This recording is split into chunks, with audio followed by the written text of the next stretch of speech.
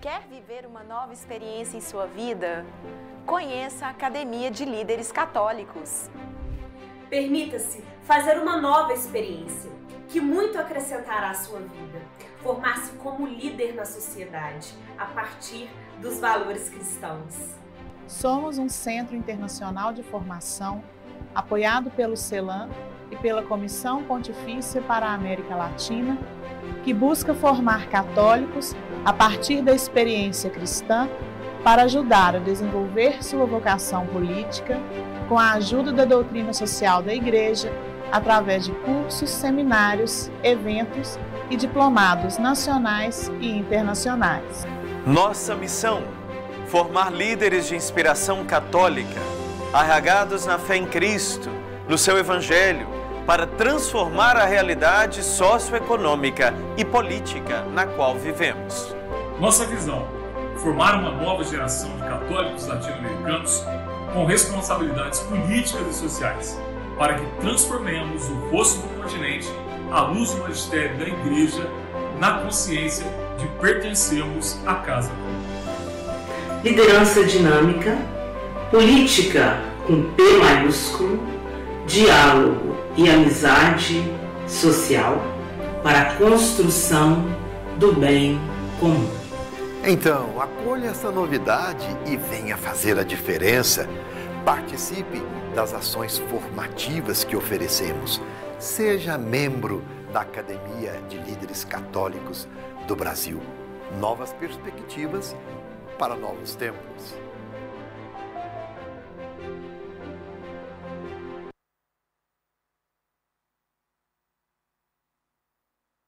Tenemos una propuesta para hacerte que puede marcar la diferencia en los distintos ámbitos de los que vos formás parte. Para nosotros es prioritario y esencial estar al servicio de los demás y especialmente los más olvidados de la sociedad. Queremos formar referentes que puedan participar en política, en el mundo empresarial, en los sindicatos, la academia y las organizaciones sociales. Dar lo mejor en las grandes acciones, pero también en los pequeños detalles, porque es allí donde se manifiesta el amor por lo que hacemos. Ser protagonistas de nuestro tiempo exige esfuerzo, formación y mucha pasión. Porque siendo líderes nos unimos al trabajo de la Iglesia y a sus pastores, para dar lo mejor a Dios y a nuestros hermanos. Te invitamos a liderar lo que viene.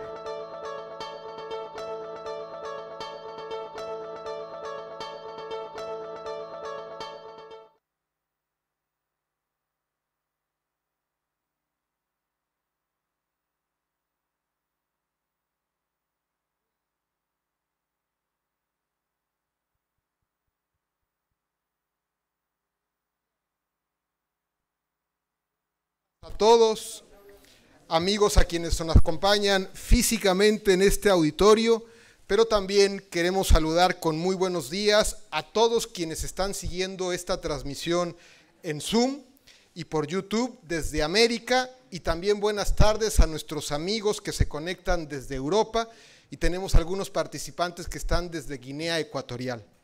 Mi nombre es José Antonio Rosas, soy el director general de la Academia Latinoamericana de Líderes Católicos y con muchísimo cariño les saludamos desde el bello puerto de Valparaíso, Chile.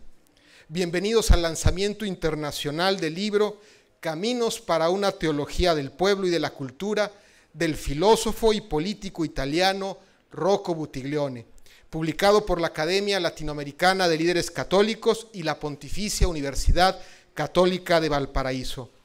Un libro que además cuenta con la introducción del Santo Padre, el Papa Francisco. Como Academia de Líderes Católicos, nos llena de alegría la presentación de este libro, que es de uno de los integrantes de nuestro Consejo de Gobierno, pero sobre todo uno de nuestros inspiradores de toda la acción que está realizando nuestra academia hoy día en nueve países y más de 40 diócesis de América Latina. Me refiero a nuestro amigo, maestro, pero sobre todo testigo del Evangelio, Rocco Buttiglione. Agradecemos también a quienes están presentes en este acto desde la Casa Central de la Pontificia Universidad Católica de Valparaíso y a quienes nos siguen desde sus países a través de nuestra señal de Zoom y de nuestro canal de YouTube. Especialmente quiero saludar a los obispos que se registraron en este lanzamiento y que nos están acompañando. A Monseñor José María Rossi de Argentina, a Monseñor Héctor Luis Morales de México, a Monseñor Reinal Nan del Perú y a Monseñor Antonio Espinosa de Ecuador, entre otros. Y sobre todo, agradecemos muchísimo la presencia física en esta ciudad del autor de esta obra, el profesor Butiglione, quien ha hecho el esfuerzo para viajar desde Italia para acompañarnos esta mañana. Queremos también agradecer a Vida Nueva Digital, quien también está transmitiendo esta señal, quien es parte de nuestros aliados estratégicos y con quienes organizamos este evento. Esta presentación y esta publicación no hubiera sido posible sin el apoyo entusiasta de esta casa de estudios que hoy nos recibe. Quiero especialmente, de forma pública, destacar a tres autoridades de esta universidad que han gestado esta publicación. Al profesor Juan Pablo Faundes, director de la Cátedra de Doctrina Social de la Iglesia, al padre Cristian Echín, vicecanciller de la universidad, desde luego al rector, a don Claudio Elortegui, pero sobre todo a Monseñor Jorge Patricio Vega, obispo de Valparaíso, canciller de esta universidad. Fue gracias a su decidido respaldo desde el inicio es que hoy podemos tener al profesor Butiglione en Chile para presentar su última publicación.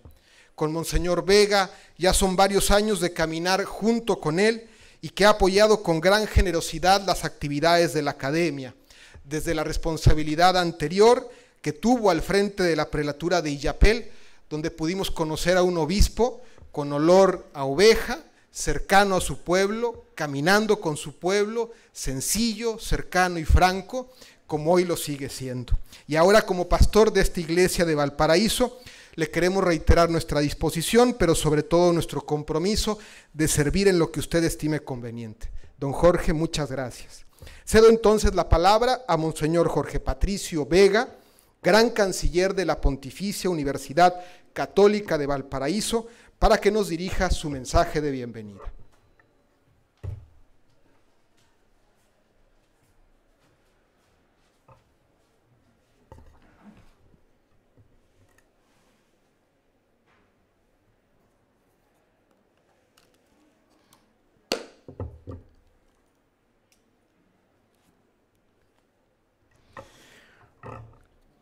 al iniciar estas breves, palabras, estas breves palabras, saludo a don Claudio El Ortegui Rafo, rector de la Pontificia Universidad Católica de Valparaíso, al padre Cristian Eixin, vicegran canciller, a cada uno de los miembros del Consejo Superior de la Pontificia Universidad.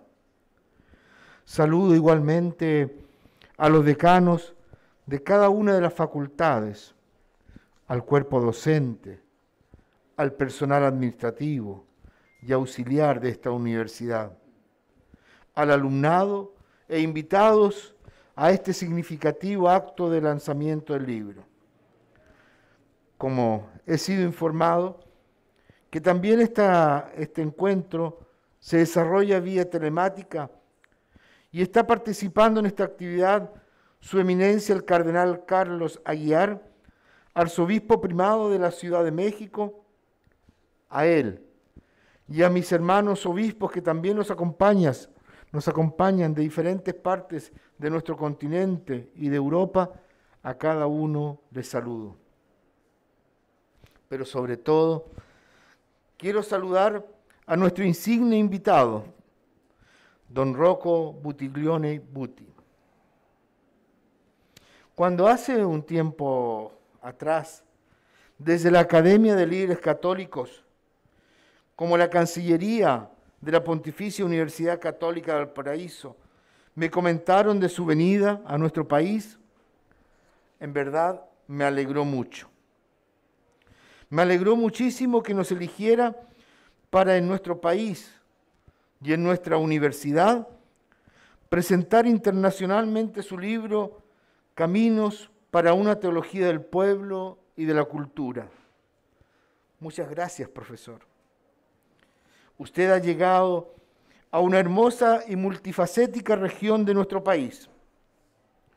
En esta región podrá encontrar valles, montañas y un majestuoso océano que más que separarnos del mundo, nos conecta con lugares y naciones lejanas. Pero nuestra región no es solo, solo un territorio continental, también forman parte de ella un importante territorio insular. Pero lo, más importante en esta región, don Rocco, es quienes nos mueven cada día a mejorar nuestro servicio evangelizador y formativo. Son sus personas, las que habitan aquí.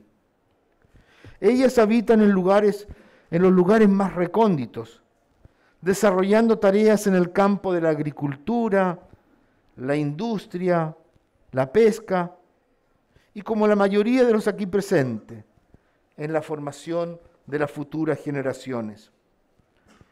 A nivel eclesial, nuestra región cuenta con dos jurisdicciones eclesiásticas.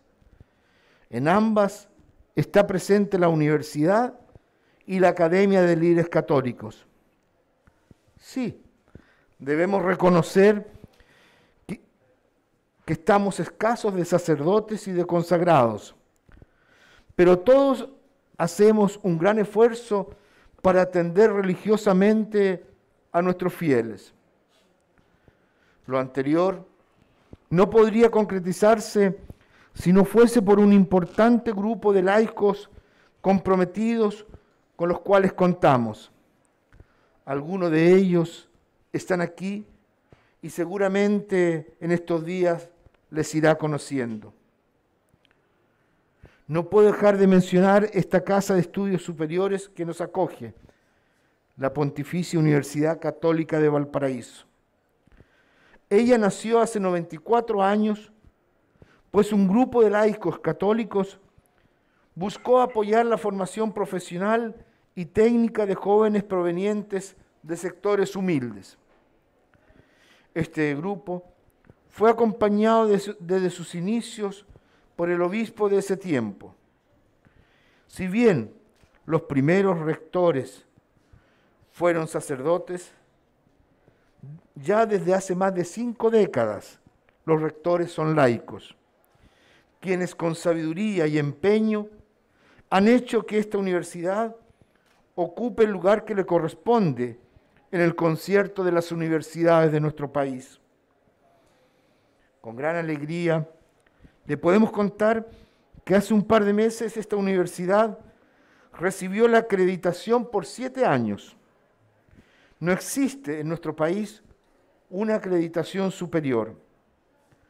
Como puede imaginar, este reconocimiento trajo una gran alegría para todos. Esto fue posible gracias al esfuerzo de sus rectores, académicos, administrativos, auxiliares y también de alumnado. Actualmente y a corto plazo, la universidad tiene dos importantes desafíos. Elegir su nuevo rector para, el periodo 2022-2026 y la renovación de los estatutos para ponerlos en sintonía con la constitución apostólica ex corde ecclesia. En honor al tiempo que me permitieron hablar, nuevamente le digo, muchas gracias por llegar hasta estos confines. Siéntase en casa y descubra cómo quieren en Chile al amigo cuando es forastero. Bienvenido.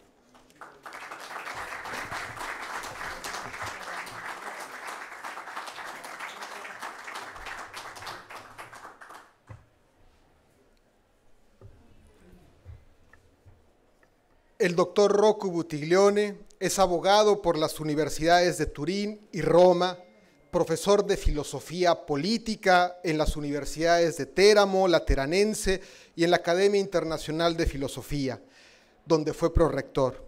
Miembro de la Academia Europea de Ciencias y Artes, a lo largo de su carrera política ha ocupado altas responsabilidades como ministro de Política de la Unión Europea, ministro de Bienes y Actividades Culturales, miembro del Parlamento Europeo, del Parlamento de Italia, donde fue vicepresidente de la Cámara de Diputados, es doctor honoris causa de la Universidad Católica de Lublin en Polonia, de la Universidad Francisco Marroquín de Guatemala, miembro de la Pontificia Academia de Ciencias Sociales y miembro del Consejo de Gobierno de nuestra academia. A continuación, el libro será presentado por tres miembros del Consejo de Gobierno de nuestra institución, el cardenal Carlos Aguiar, desde Ciudad de México, presidente de nuestra academia y arzobispo primado de México, la madre Liliana Franco desde Colombia y el doctor Rodrigo Guerra desde Ciudad del Vaticano. Permítanme presentar a nuestros tres invitados.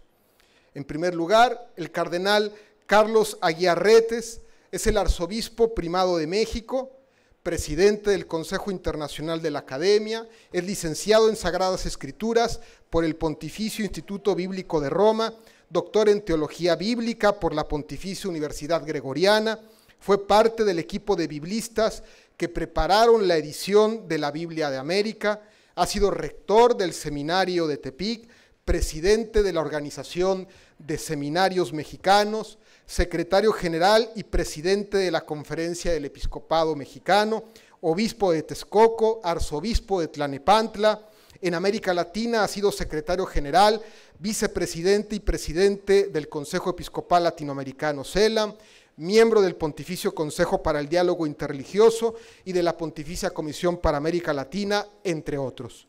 La madre Liliana Franco Echeverri, presidenta de la Confederación Latinoamericana y Caribeña de Religiosos y Religiosas y vicepresidenta de nuestra academia.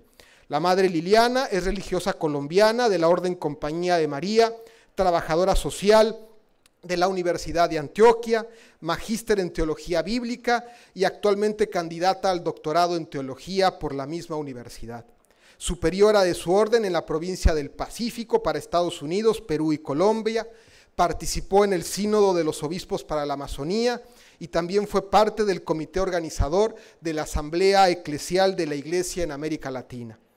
Y el doctor Rodrigo Guerra López es actualmente el secretario de la Pontificia Comisión para América Latina, es doctor en filosofía por la Academia Internacional de Filosofía en el Principado de Liechtenstein, ha sido miembro del Pontificio Consejo Justicia y Paz, consultor del Sínodo de la Familia nombrado por el Papa Francisco, actualmente es miembro de la Academia Pontificia para la Vida, del Dicasterio para el Desarrollo Humano Integral y de la Pontificia Academia de Ciencias Sociales, fundador del Centro de Investigación Social Avanzada, CISAP, y del Observatorio Social del CELAM. Es miembro del equipo teológico del CELAM y del Consejo Internacional de nuestra Academia. En primer lugar, escucharemos al cardenal Carlos Aguiar, quien hará la presentación oficial del libro, y después escucharemos a la Madre Liliana y al doctor Guerra para sus comentarios. Don Carlos, le cedo la palabra y un cariñoso saludo hasta Ciudad de México. Muchas gracias. Les deseo un buen día, algunos desde la mañana y otros hacia la tarde. A todos los saludo con afecto, a todos los participantes que se han conectado y que están ahí presentes en Valparaíso a esta convocatoria de la Academia de Líderes Católicos para la presentación del libro Caminos para una Teología del Pueblo y de la Cultura del muy apreciado doctor y amigo Rocco Buttiglione. Agradezco en primer lugar al gran canciller de la Pontificia Universidad Católica de Valparaíso y obispo de tan bello puerto chileno, a su excelencia Jorge Patricio Vega Velasco, por su generosidad y disponibilidad para la realización de este lanzamiento internacional desde esa apreciada Casa Central. Al señor rector de tan prestigiosa universidad chilena, don Claudio Elortegui Raffo, junto a toda su comunidad académica, por su apoyo y su visionario patrocinio a la publicación de esta gran obra del profesor Buttiglione que presentaré a continuación. A don José Antonio Rosas Amor, director de la Academia Latinoamericana de Líderes Católicos, a quien valoro ya que un servidor, como presidente del Consejo Internacional de la Academia, soy testigo del permanente trabajo que promueve en favor de la inculturación y diálogo con el mundo de hoy desde los criterios, valores y principios de la doctrina social de la Iglesia. Y por supuesto, saludo con afecto a Rocco por este bien logrado libro que ha madurado en el tiempo y que tengo el honor de presentar en esta solemne sesión. Caminos para una teología del pueblo y de la cultura de las ediciones universitarias de Valparaíso es una reflexión visionaria escrita desde la experiencia y la inteligencia de un autor que ha sabido leer con agudeza los signos de los tiempos en su interpretación a la luz de la fe para explicar la evolución de nuestra sociedad contemporánea y el redescubrimiento del pueblo como lugar teológico. Inicio esta presentación destacando la generosa y profunda introducción escrita para un amigo que desarrolla el Santo Padre Francisco, posicionando la comprensión del sentido del cambio de época que estamos viviendo. En este contexto, debemos leer las nuevas perspectivas históricas que se han desarrollado en el siglo XX y que proporcionan una mejor comprensión del pueblo de Dios. Es una magnífica introducción plena de contenido que permite traslucir de modo transversal cada uno de los capítulos del libro, con la experiencia de un pastor latinoamericano y la sabiduría que el Señor le ha concedido en su ministerio petrino. A continuación, señalaré una breve síntesis de los capítulos y algunas claves de lectura. Luego continuaré con algunos temas que expone el autor y que ayudan como brújula para adentrarse en los contenidos. El capítulo inicial del libro, titulado El tiempo de Latinoamérica, ofrece luces para interpretar el ministerio del primer papa latinoamericano en un contexto de globalización como el kairos desde el que se puede profundizar una teología del pueblo. En esta obra, el pueblo es un auténtico lugar teológico y hoy se constata con el solo hecho de condolernos tanto por el sufrimiento de los migrantes sudamericanos que transitan como pueblo en fuga a través de las fronteras así como por los bombardeos que en estos días estremecen al pueblo de Ucrania que clama por la paz y que reza en comunidad en las calles de Kiev. El segundo capítulo, que permite entenderse como una eclexis llamada Platón, Nietzsche y la Virgen de Guadalupe, explica el descendimiento desde la noción teológica ideal hasta la cercanía de una teología que se humaniza en la encarnación tan cercana a la experiencia latinoamericana. Y el tercero, apuntes para una interpretación transpolítica de la historia, brinda elementos certeros para comprender los móviles que articulan el devenir de la historia abordando el autor, cual geólogo de la humanidad, las capas tectónicas explican las motivaciones radicales del ser humano en la formación de su cultura en sucesivos pasos de comprensión, economía, política y religión. El cuarto apartado de mayor alcance teológico y a mi juicio clave para entender nuestro tiempo a la luz de una antropología adecuada, personalismo y teología del pueblo. Pone las bases para una fundamentación de la teología del pueblo que asume el personalismo como corriente que ha aportado una comprensión más cabal del ser humano desde el desarrollo del siglo XX. La persona es el, el ser más sublime en el orden de la creación. El último capítulo, titulado Naturaleza y claves de la globalización, se hace cargo de la orientación deseable que puede lograr la reflexión teológica al servicio de nuestra casa común, proponiendo el rol que significa un papado latinoamericano en perspectiva de futuro, haciéndose cargo del resguardo ecológico por amor a las nuevas generaciones. Ahora señalo tres aspectos que considero cruciales a partir del relato, en primer lugar, el ámbito cultural latinoamericano, para notar cómo puede ser leído desde el Vaticano II y las conferencias de Medellín y Puebla, y así entender la noción de pueblo como un sustrato propio.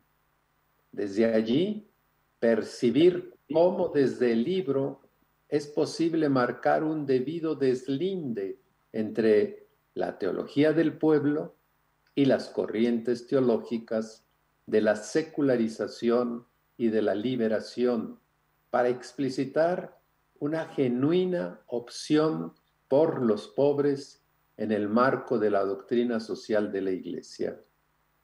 En segundo lugar, propongo el modo como, según la propuesta de Buttiglione, se puede comprender una interpretación transpolítica de la cultura global actual para observar una cierta proyección de amenaza que puede sufrir la teología del pueblo a nivel mundial. Y termino ofreciendo algunas luces sobre las propuestas de caminos que se perfilan desde este planteamiento teológico. Vamos pues por el primero, el contexto cultural latinoamericano leído desde el Vaticano II, Medellín y Puebla, para entender la noción de pueblo. Para comprender esta obra, es indispensable entender el sentido del cambio de época, que permite seguir asimilando la nueva etapa que el Espíritu Santo ha inspirado a la Iglesia en este tiempo y que ella ha reconocido ad intra y manifestado ad extra el profético Concilio Ecuménico Vaticano II. En este contexto, Buttiglione va abriendo su reflexión apoyado en la visión de Guardini, articulando un discurso en el que la persona y el pueblo están íntimamente relacionadas de manera interdependiente. Como bien señala el Papa Francisco en su introducción, la reflexión de Buttiglione germina desde Guardini hasta llegar a aterrizar una comprensión del pueblo de Dios, manteniéndolo sin desdibujarse ante las amenazas reduccionistas de cualquier ideología o de formación teológica que se van abriendo ya desde la reflexión europea o en las vertientes americanas que sucesivamente intentan explicarlo. El pueblo se reconoce como el santo lugar de la manifestación, donde el Señor se ha dado y sigue dando a conocer mediante una interpelación que toca a cada persona en su identidad y en su vocación única. Por ello, se trata de un lugar teológico excepcional en el que se va manifestando y concretando toda la historia de la salvación a partir del diálogo que Dios entabla desde Abraham en adelante hasta llegar a las poblaciones latinoamericanas. El pueblo es la entidad dinámica e intersubjetiva, testigo de la experiencia pascual, que es la que permite posicionar la categoría de diálogo desde sí y entre sus miembros con Dios, siendo todos testigos de la acción salvífica que pasa a través de la historia. El ámbito cultural latinoamericano es en este sentido un contexto propicio para reconocer en su pueblo el espacio de una genuina manifestación de Dios, ya que es testigo de su acción. Una fe que es horizonte y perspectiva del hombre y de la mujer latinoamericanos, como lo comprende Lucio Gera. Un pueblo que se evangeliza de forma auténtica en su propia cultura y a través de su cultura, mediante vestigios ancestrales o a través de encuentros únicos, como el encuentro guadalupano, siendo cada vez más consciente de sus limitaciones y conflictos que en distintos países se generan por profundas diferencias que proponen nuevos desafíos. Esta es la motivación que sugiere etapas y niveles de superación reconocidas por Metol Ferrer, ejemplificando su comprensión del barroco como aquella reforma católica que tiene cuna en la modernidad, dando forma a una cultura del encuentro de los dos mundos.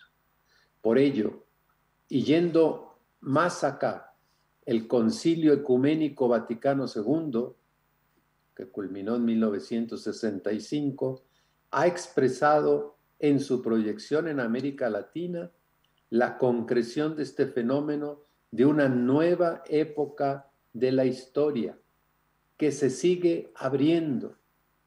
Medellín, en 1968, resaltando la opción preferencial por los pobres que se encuentran y se reconocen en un proceso de inculturación inacabado, que sigue manifestando nuevas pobrezas de distinto talante.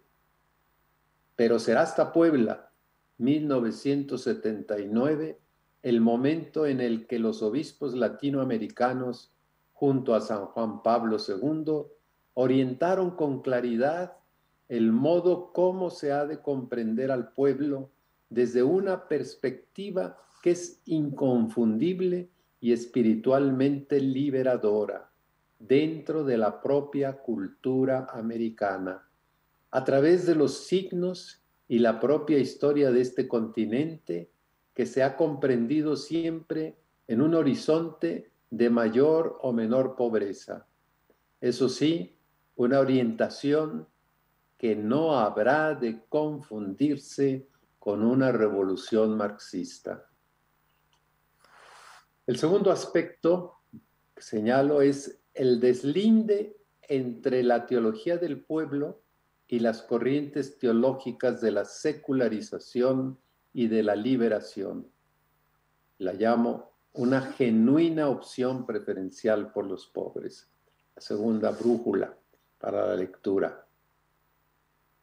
Como señala Buttiglione, Francisco es el primer papa que piensa la doctrina de la Iglesia desde la perspectiva del pobre, desde una región pobre de este llamado tercer mundo.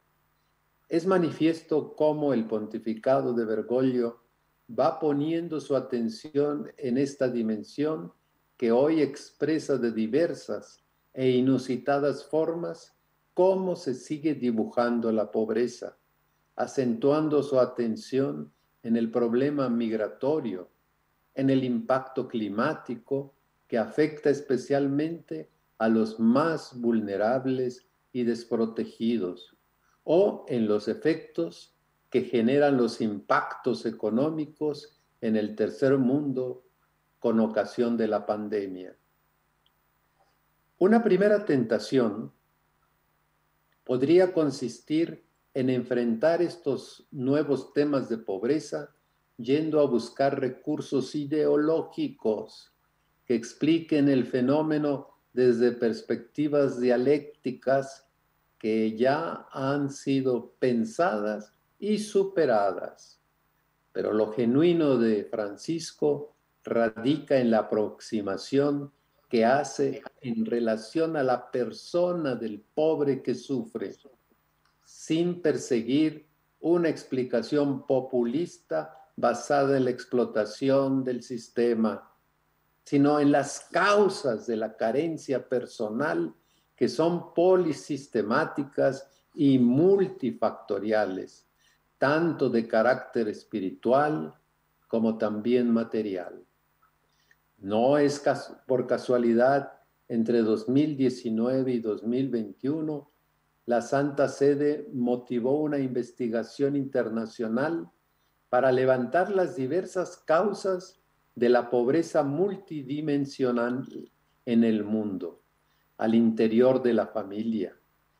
Trabajo querido y motivado por el Papa, en el que participó también la Pontificia Universidad Católica de Valparaíso, entre varias instituciones a nivel global, y en la cual se percibe que el problema de la pobreza en sus diversas dimensiones no se comprende en la simpleza de una linealidad causa-efecto, sino en la multifactorialidad que atraviesa desde las dimensiones económicas hasta las ciudadanas, entre muchas otras. A su vez, Buttiglione tiene claro que profundizar en una teología de la secularización no tiene mayor sentido en el contexto latinoamericano, sino que su motivación persuade más bien al europeo, pero sí es consciente de la proximidad entre teología del pueblo y teología de la liberación. Es claro que la primera de ellas no consiste en una vertiente de la liberación en línea marxista que da paso al sujeto revolucionario. La teología del pueblo no se identifica con una propuesta reactiva de carácter secularizado, sino más bien con la comunidad trascendente de personas que se encuentran a través del diálogo, de ahí lo de la sinodalidad del Papa Francisco, se encuentran a través del diálogo en vista a generar las condiciones para una cultura que no sea excluyente, sino plenamente inclusiva e integradora. El desafío es que los diversos estratos de la sociedad encuentren entre sí una legitimación recíproca que les permita suscitar dicho diálogo. Para ello es necesario generar las condiciones de legitimidad en el encuentro. Para esa tarea son de enorme ayuda los principios de la doctrina social de la Iglesia, que consisten en la dignidad de la persona humana, en su vínculo con la opción preferencial por los pobres. Por el hecho de ser humana la persona, es digna.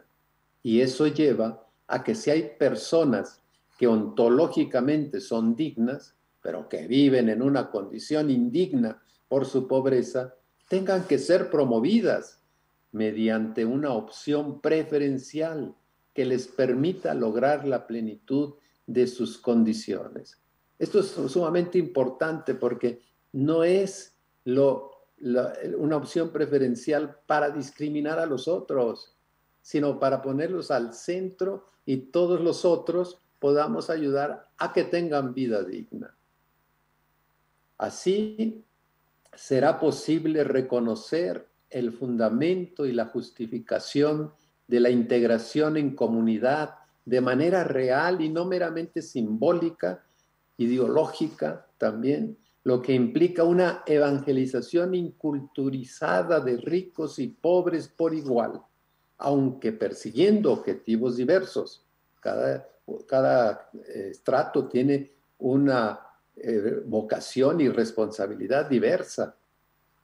Unos en la contribución justa para la promoción y otros en el sentirse convocados por ella. Por ello señala Butilione que la teología del pueblo es solidaria, interclasista y nacional.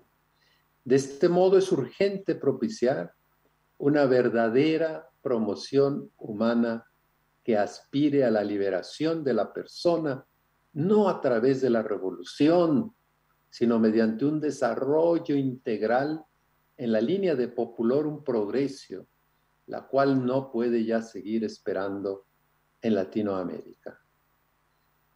La tercera clave de lectura, la tercera brujulita, será, lo propongo, una interpretación transpolítica de la cultura global actual será una amenaza a la proyección de teología del pueblo o cómo podemos afrontarla.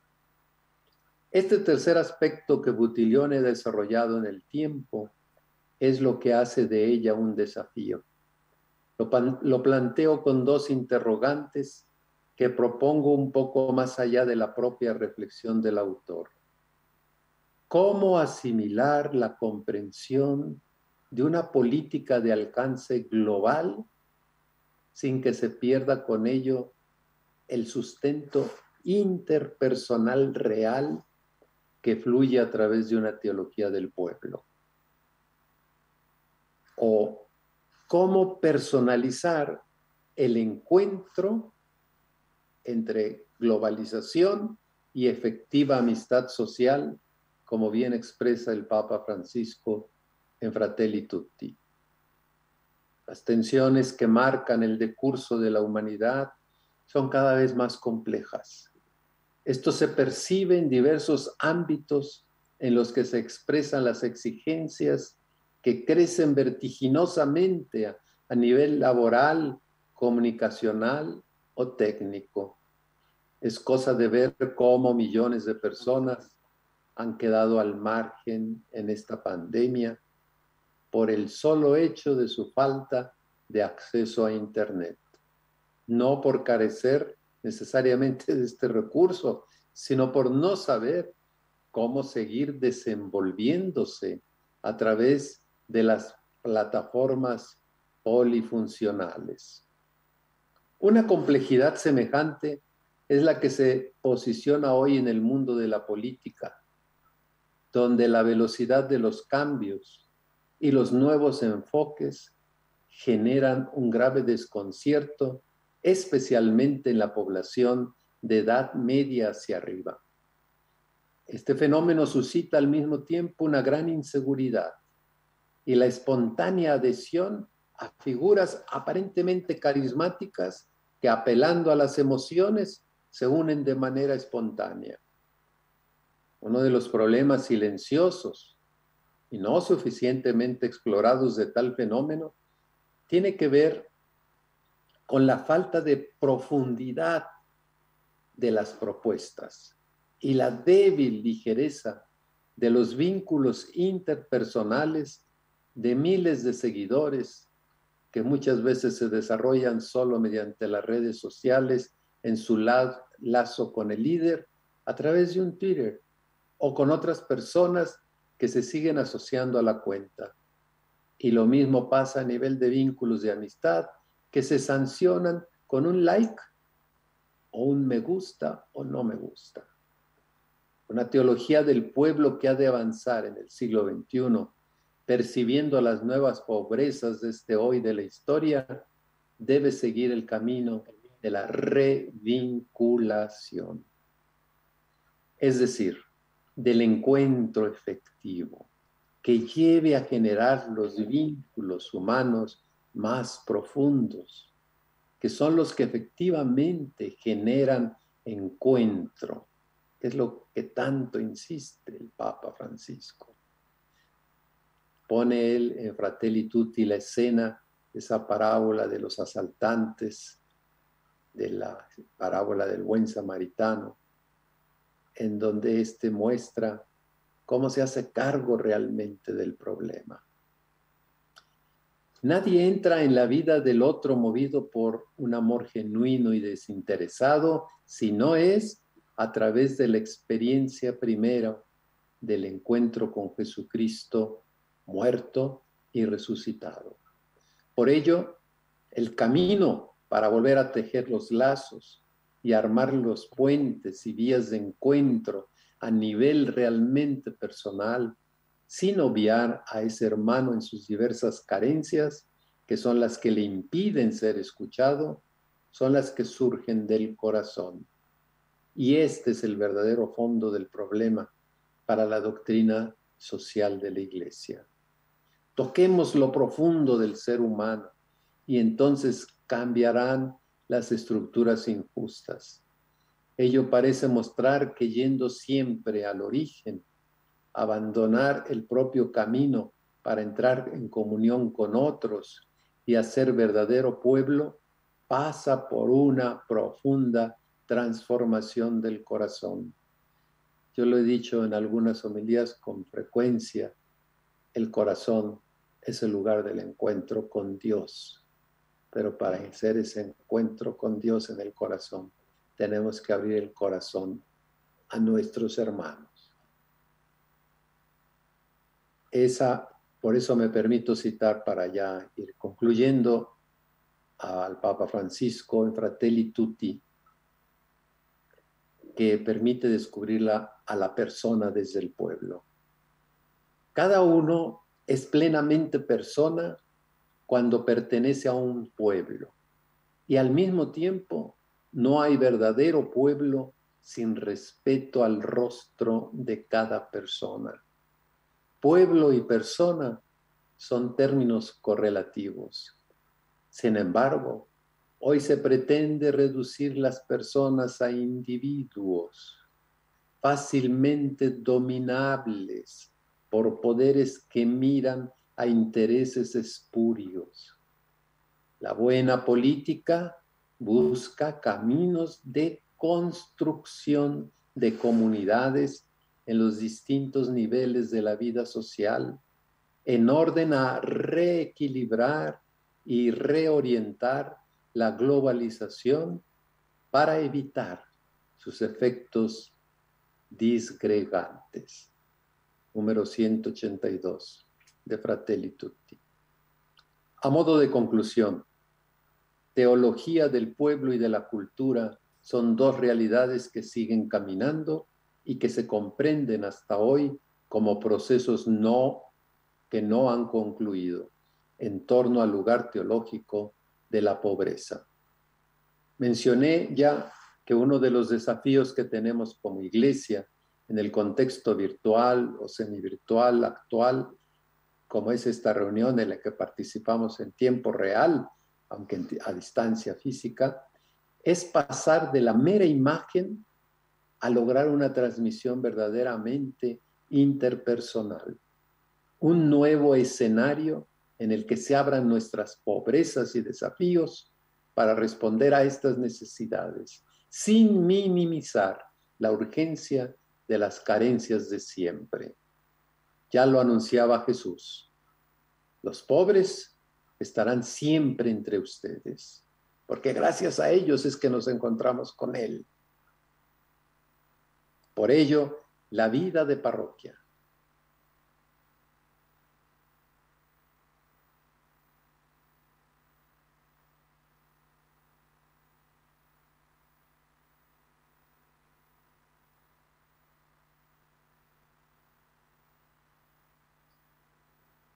Ya lo anunciaba Jesús. Los pobres estarán siempre entre ustedes. Por ello, la vida de la parroquia, la pastoral universitaria, la asistencia hospitalaria, los requerimientos del barrio y las diversas situaciones en las que nos coloca el profesor Gutillone al concluir su obra son los nuevos desafíos contextuales en los debemos seguir cultivando una teología del pueblo en diálogo con la cultura que ha de permanecer buscando sin descansar cómo continuar siendo fieles al envío de Jesús, nuestro Maestro. Muchas gracias.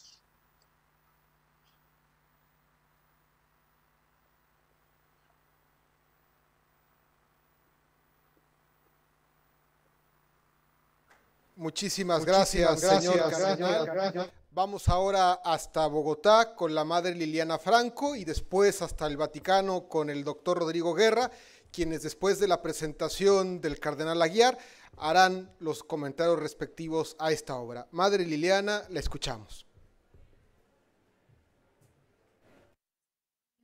Buenos días a todas y todos.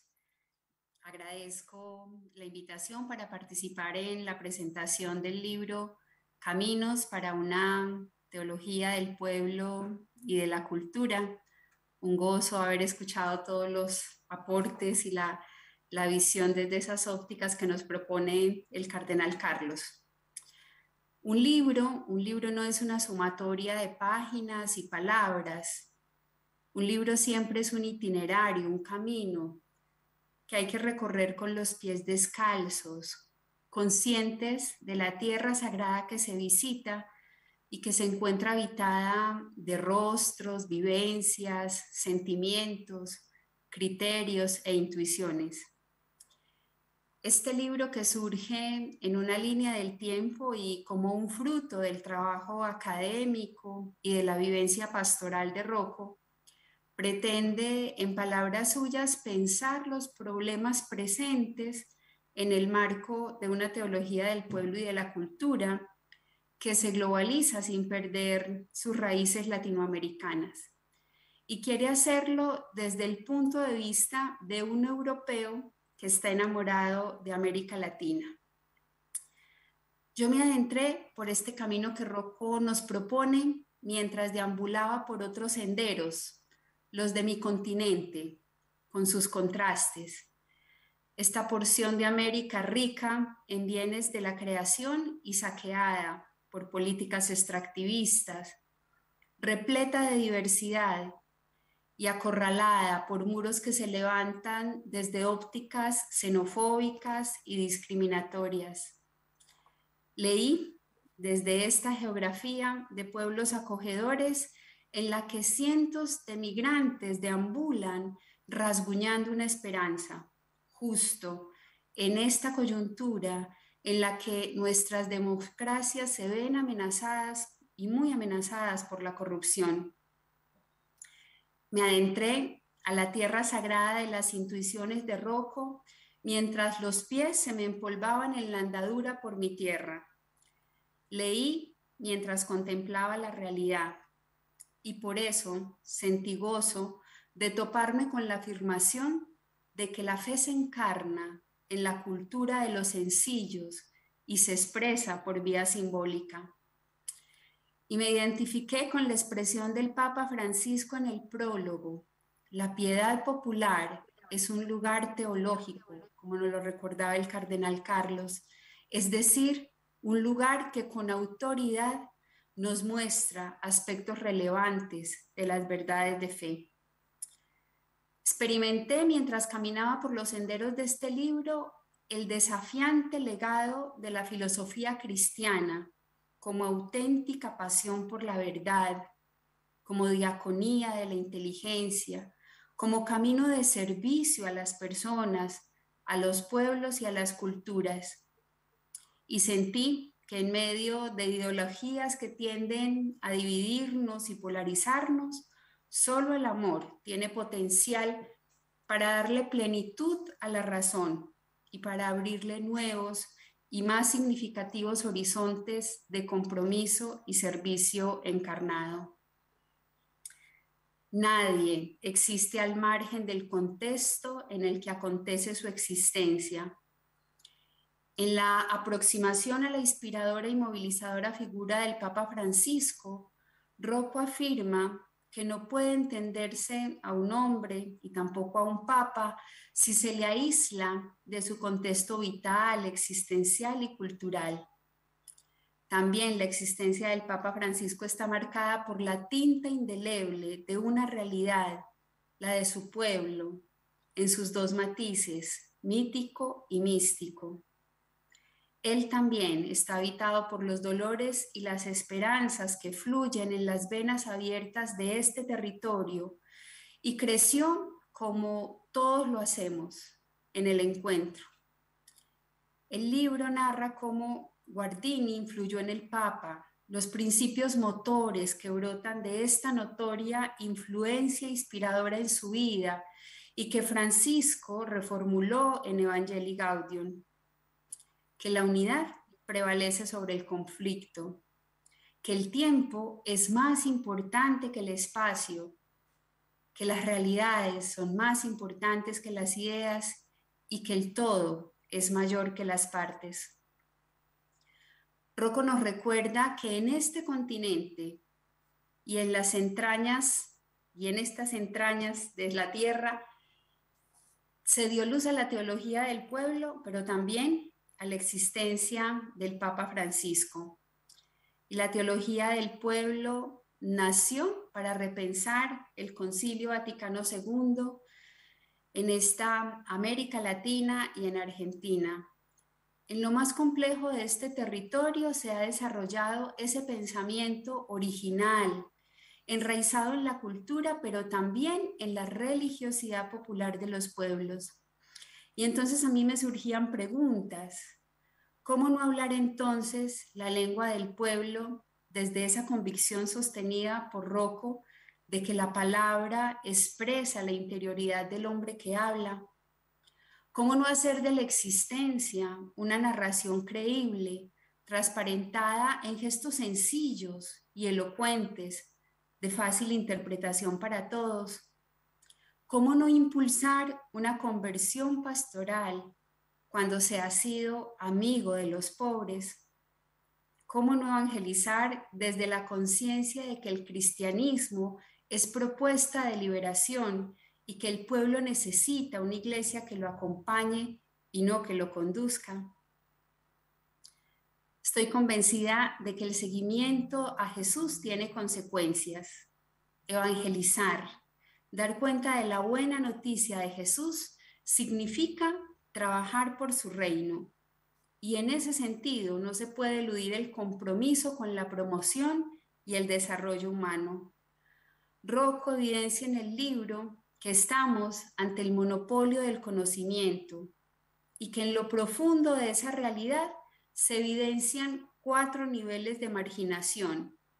El problema del control de Internet, el problema de la desigualdad, la simetría de la riqueza y del poder social y la necesidad de repensar el capitalismo en una sociedad así y en medio de la crisis de la modernidad urge que se evidencie la unidad entre fe y vida. Rocco nos invita a hacer un recorrido de análisis y profundización frente a la teología del pueblo, la teología de la liberación, la teología india y otras teologías que con notorias y explícitas diferencias confluyen en un mismo anhelo. Un recorrido repleto de nombres de grandes teólogos, Escanone, Ferré, Morande.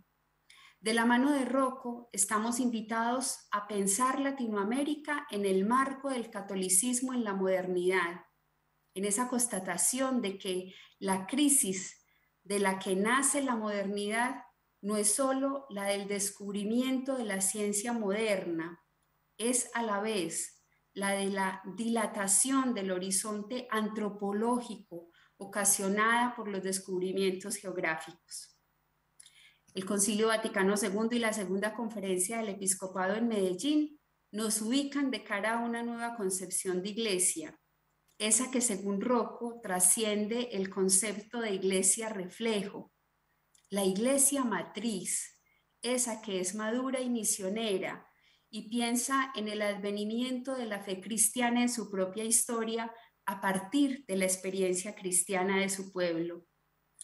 En compañía de Rocco, hacemos también un recorrido por el pensamiento de diversos filósofos para concluir que no se comprende la historia sin la filosofía, porque lo que hacen los hombres depende de la conciencia que tengan de sí mismos. En su acercamiento a la cultura humana, delinea Rocco dos estructuras fundamentales, familia y religión. Y ante esta certeza, de que asistimos a un cambio de época, surgen desde la perspectiva de Rocco evidentes necesidades, un nuevo inicio de los movimientos populares y de los trabajadores a nivel mundial, un control político a la red informática, reactivar políticas de desarrollo a nivel global, un acuerdo global eficaz para la defensa del medio ambiente, una gobernanza mundial para globalizar la sociedad. La iglesia, nuestra iglesia siempre ha sido global, sin embargo, en este tiempo de globalización el Espíritu la ha llamado a hacerse aún más global, esto es más católica. Nos recuerda Rocco que actualmente apenas un tercio de los católicos vive en Europa y los Estados Unidos de América, algo menos de la mitad vive en Latinoamérica, y el resto lo hacen en Asia y África. Y ahí, justo en la verdad que entrañan esos datos, fluye un desafío, el discipulado misionero, que no protege espacios, sino que activa procesos, que no quiere imponer una regla del exterior desde el primer momento, sino que pretende cambiar los corazones para que puedan redescubrir la regla en sí mismos como el cumplimiento de su anhelo de justicia perfecta, que sabe que la totalidad es mayor que su trabajo y que su trabajo encontrará la plenitud y su auténtico significado solo en la unidad de la Iglesia.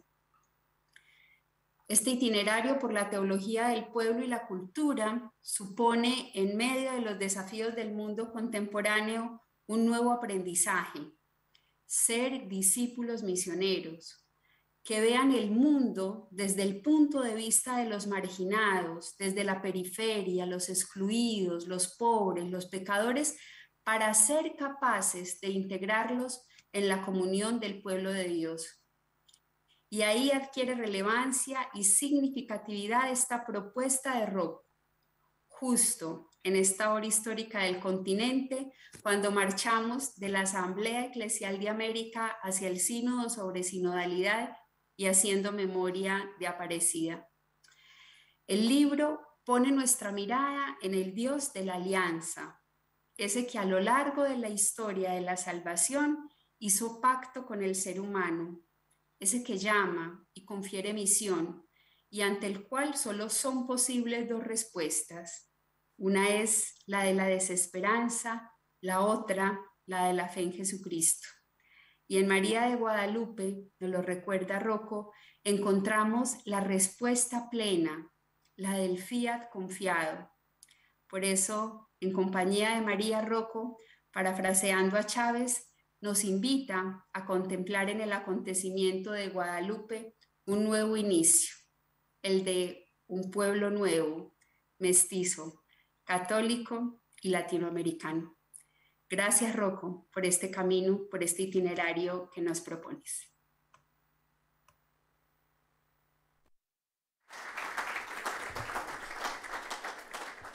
Muchísimas gracias, Madre Liliana. Y ahora vamos hasta Ciudad del Vaticano con el doctor Rodrigo Guerra.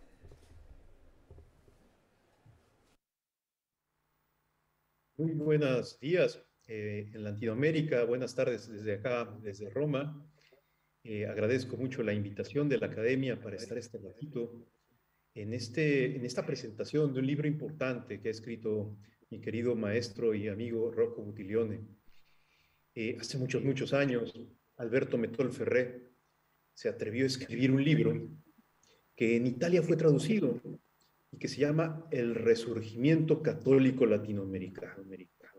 Al revisar las páginas del libro de Rocco, inmediatamente uno percibe que este nuevo libro es como la segunda parte, como la continuación del resurgimiento católico latinoamericano. ¿Por qué?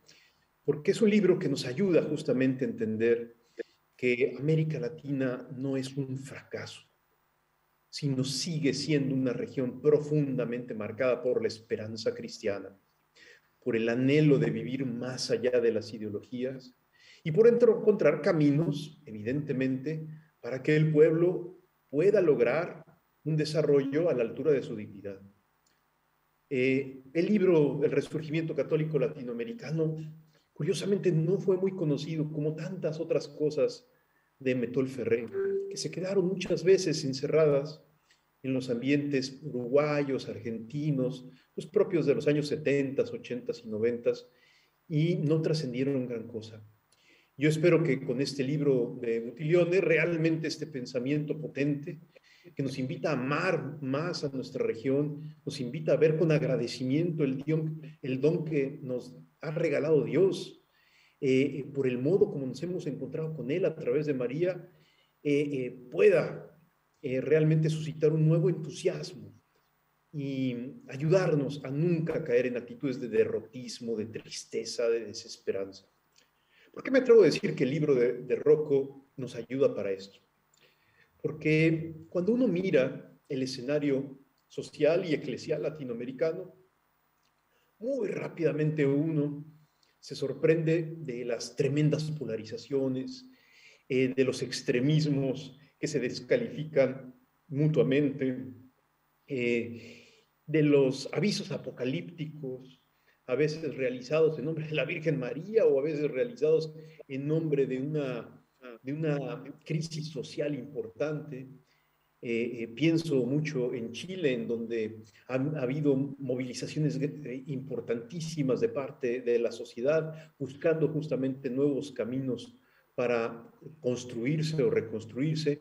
Pienso igualmente en Colombia, en México, en Brasil, en Paraguay, en Uruguay, en Bolivia, en Ecuador. Y cuando uno mira de repente todo el elenco de lugares en donde en América Latina eh, están sucediendo cosas fuertes, importantes, estremecedoras, es muy fácil caer en la tentación de decir, todo está mal, no hay nada que hacer o hay muy poco que hacer.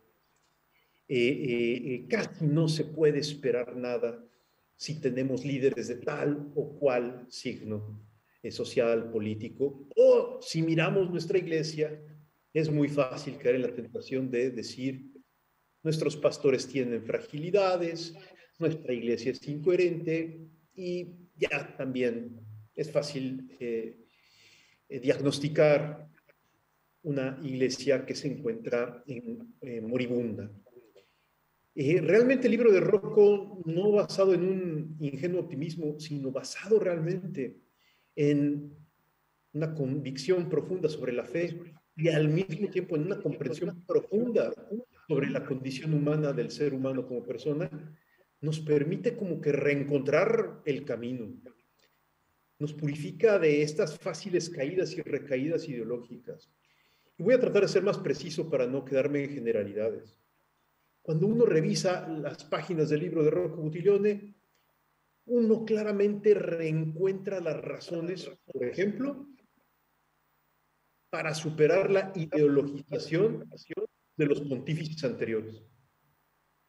Es decir, es muy fácil caer en una trampa ideológica que afirma que hay ruptura, que hay fractura entre Juan Pablo II y el Papa Francisco, entre Benedicto XVI y el Papa Francisco. ¿Por qué me atrevo a decir que el libro de Butilione nos ayuda? Porque es muy difícil encontrar un más grande experto en el pensamiento y en la praxis pastoral, por ejemplo, de un papa como Juan Pablo II. Todos lo sabemos y creo que ya no es ningún secreto para nadie. Rocco Butilione ha ayudado al Papa a escribir algunas de las más importantes encíclicas sociales. centesimus annus laborem exercem solicitud rei socialis. Hay textos de Rocco Utilione publicados antes de que las encíclicas aparecieran que reaparecen en los textos pontificios, porque la colaboración entre Rocco y el Papa Juan Pablo fue muy estrecha. Me atrevo a decir esto porque qué fácil es afirmar rupturas a nivel de enseñanza pontificia y caer en el fondo en una ideologización de tal o cual papa, para descalificar al papa del presente. El libro de Rocco Utilione, con una erudición extraordinaria y con una comprensión profunda del pensamiento de los papas anteriores a Francisco, nos permite ver la fidelidad creativa, la hermenéutica, la auténtica hermenéutica de la continuidad y de la renovación. La expresión hermenéutica de la continuidad es incompleta. Benedicto XVI usaba la expresión hermenéutica de la continuidad y de la reforma. Es decir, hasta el mismísimo Papa Ratzinger pensaba que era importante afirmar la continuidad, explicarla bien pero para seguir caminando y profundizando en una dirección precisa, que es la reforma de la iglesia. Ecclesia semper reformanda, solía decir el Papa Benedicto, parafraseando un texto característico del pensamiento luterano, curiosamente. Este tipo de cosas nos eh, ayuda el libro de Rocco. Además, en un lenguaje ameno, en un lenguaje sencillo, a reubicar. Que no es una falsa, no, es una artificio, no es un artificio el tratar de vincular a los papas, sino que, lo voy a decir así, en un lenguaje a lo mejor un poco simplificado, pero que espero que lo cuente, el libro de Rojo nos ayuda a entender que el Espíritu Santo asiste a la iglesia y en particular al sucesor de Pedro, no de manera intermitente sino de manera constante. El Espíritu Santo no se fue de vacaciones. El Espíritu Santo continuamente acompaña al sucesor de Pedro, no a pesar de sus límites, sino a través de ellos. Es decir, a través de la personalidad concreta de cada papa. Este es un tema muy eclesial, muy interno y muy tal vez para ciertas atmósferas y ciertos ambientes preocupados por los temas de la enseñanza pontificia. Pero también el libro de Rocco Utilione nos ayuda a superar otro tipo de ideologizaciones en las que muy fácilmente tú y yo podemos caer, que son las ideologizaciones políticas. Si hay alguien que ha conocido en sus entrañas profundas el pensamiento neoliberal, es Rocco Utilione, que ha logrado dialogar, discutir, argumentar con algunos de los más importantes exponentes del pensamiento económico neoliberal contemporáneo. Y que aprendiendo cosas importantes que tiene la libertad al momento de que se expresa en el quehacer productivo y en el quehacer económico y hasta en el quehacer financiero, sin embargo, el libro de Rocco Buttiglione nos ayuda a descubrir un parámetro crítico superior al de cualquier corriente de pensamiento económico o político, que es el de la trascendencia de la persona de Cristo y la trascendencia de la persona humana respecto de cualquier ideología. Y entonces de esta manera, conociendo por dentro, no por fuera, por dentro, las raíces, eh, eh, las fuentes, los principios de la economía realmente existente y que está marcando nuestro mundo, nos ayuda a valorar altamente el enfoque de la doctrina social de la Iglesia contemporánea y particularmente del Papa Francisco. ¿Para qué? Para mirar con aprecio todo aquello que signifique libertad al momento de producir, pero también para valorar enormemente las búsquedas de una mayor justicia en la distribución del ingreso. Y de esta manera, entonces, una vez más, los católicos podemos recuperar nuestra legítima libertad. Un católico no es libre cuando se apuesta idolátricamente a favor de una ideología de derecha o de izquierda, da lo mismo. Si no es libre, ¿cuándo? Vota en conciencia por quien quiera, apoya las posiciones políticas que más le parezcan en conciencia, pero entendiendo que todas ellas siempre serán realizaciones imperfectas, que requieren de ser juzgadas desde un parámetro superior, como es el que nos regala la doctrina social de la Iglesia contemporánea. El Papa Francisco, por eso, en Evangelii Gaudium, ha dicho con gran fuerza que no son aspectos secundarios, sino es la mismísima raíz del modelo económico vigente la que amerita ser diagnosticada como una raíz que se encuentra corrompida y que requiere reformularse. Y esa reformulación no es arbitraria. Por eso Francisco ha invitado a que repensemos de la mano del ejemplo y de la figura y de la personalidad de Francisco de Asís los nuevos retos económicos de nuestro tiempo. Y es el Papa Francisco el que nos dice, repensémoslos, no para caer en una especie de ensalada amorfa de opiniones, sino para mirar todas estas realidades, siempre buscando salvaguardar la dignidad de las personas, en especial de los más pobres, y así hacer las correcciones que sean necesarias para que la sociedad del mañana, la economía de mañana y la política de mañana no caigan en las fáciles trampas de las ideologías endurecidas que tienden a no ser autocríticas, tienden a atraparnos muchas veces en prisiones y en dilemas electorales e ideológicos de los que debemos de aprender de salir para poder respirar con mayor libertad y para poder participar más creativamente en la reconstrucción de nuestras respectivas sociedades. En el fondo, el libro de Rocco no solamente es una crítica a las ideologías, sean eclesiásticas o sean sociopolíticas, sino es un libro que en el fondo lo que nos anuncia y nos ayuda es a vivir una más grande libertad. Y en ese sentido, es que el libro de Rocco es una, es, una forma en la que podemos acercarnos a todas esas experiencias liberadoras que en la Iglesia de América Latina han nacido, buscando ir más allá de las ideologías. Esa es la intuición de origen, dice el Papa Francisco, en la teología del pueblo. ¿Cómo hacer una auténtica teología que busque la liberación sin caer en las garras del marxismo? Es muy curioso cómo la primera instrucción que la Congregación para la Doctrina de la Fe nos regaló para advertirnos de algunas deficiencias de algunas teologías de la liberación fue por muchos de nosotros aplaudida, respaldada, eh, abrazada, diciendo qué bueno que alguien le llama la atención a los feos teólogos de la liberación por andar coqueteando con el marxismo. Pero la segunda instrucción, que se llamó Libertatis Consciencia, la segunda instrucción sobre la teología de la liberación, en donde se exhorta a que hagamos una teología de la liberación no marxista, curiosamente casi no fue secundada. No brotaron unas nuevas teologías buscando auténticamente la liberación de los más pobres y sin caer en el marxismo, ofrecieran una alternativa a la situación de explotación y de opresión de muchos de los grupos populares en nuestros respectivos países.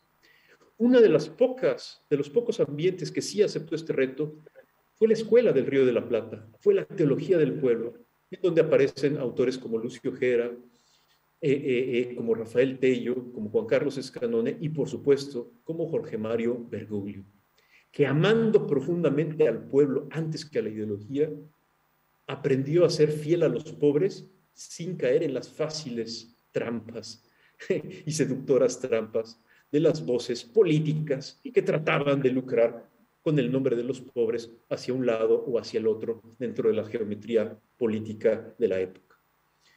Simplemente termino diciendo que hay que agradecerle a Rocco el que haya escrito este libro, eh, el que de repente un europeo se deje provocar por la experiencia de la Iglesia en América Latina y aprenda de ella, es, es realmente extraordinario. ¿Cuántos latinoamericanos no hemos aprendido cosas importantes leyendo los libros europeos? pero muy pocas veces encontramos europeos, grandes intelectuales europeos, que se dejen provocar por cosas aparentemente tan rudimentarias a los ojos de los eruditos como la piedad popular, como el acontecimiento guadalupano, como la lucha de los más pobres en América Latina, como lo ha hecho Rocco Butilione. Cosas aparentemente irrelevantes a los ojos de la petulancia académica, pero que a la hora de la verdad, pasados los años, son los que le dan consistencia a la experiencia eclesial latinoamericana y hacen de nuestra región realmente un continente de esperanza, en donde hay todavía muchas energías que es preciso reconocer y abrazar para poder encontrar justamente caminos de futuro que nos permitan no transitar con angustias y con espíritus derrotistas, sino al contrario, con alegría y confianza, sabiendo que Dios no nos abandona, que la Virgen María además nos lo ha repetido una y otra vez. No estoy yo aquí que soy tu madre. Y esto no solo es una bonita expresión eh, para acoger los dolores de nuestra vida privada y de nuestra vida interior, sino que se debe de transformar también en una certeza eclesial y en una certeza social y política para nuestros pueblos. No estamos solos porque justamente Jesús y María acompañan con especial afecto al caminar de nuestra iglesia y de nuestra sociedad en América Latina y hoy nos piden, eso sí, una renovada confianza en esa compañía para poder seguir caminando y no claudicar como derrotados de antemano ante los sinsabores y dificultades que encontramos en nuestros caminos. Les agradezco mucho la paciencia y eh, eh, agradezco nuevamente a la Academia el que nos dé la oportunidad de comentar, aunque sea brevísimamente, el libro de Rocco Butilione. Un fuerte abrazo, Rocco, y un fuerte abrazo a todos los amigos chilenos y de América Latina que nos acompañan este día.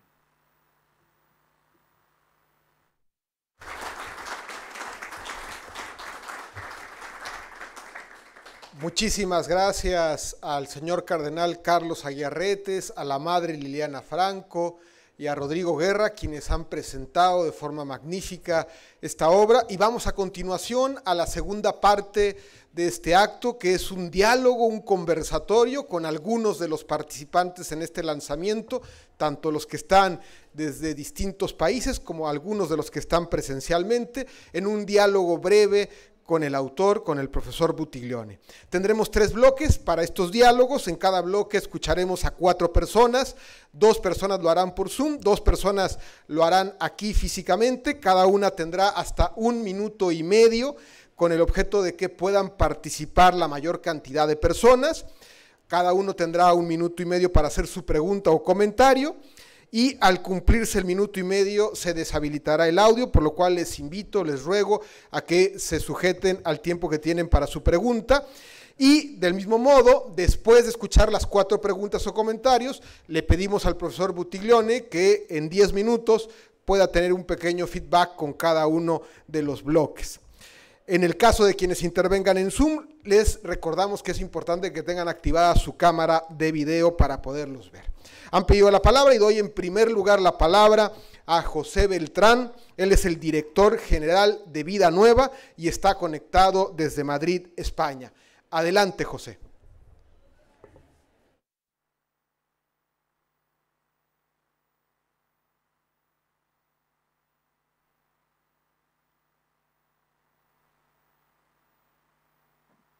Muy buenas tardes a todos.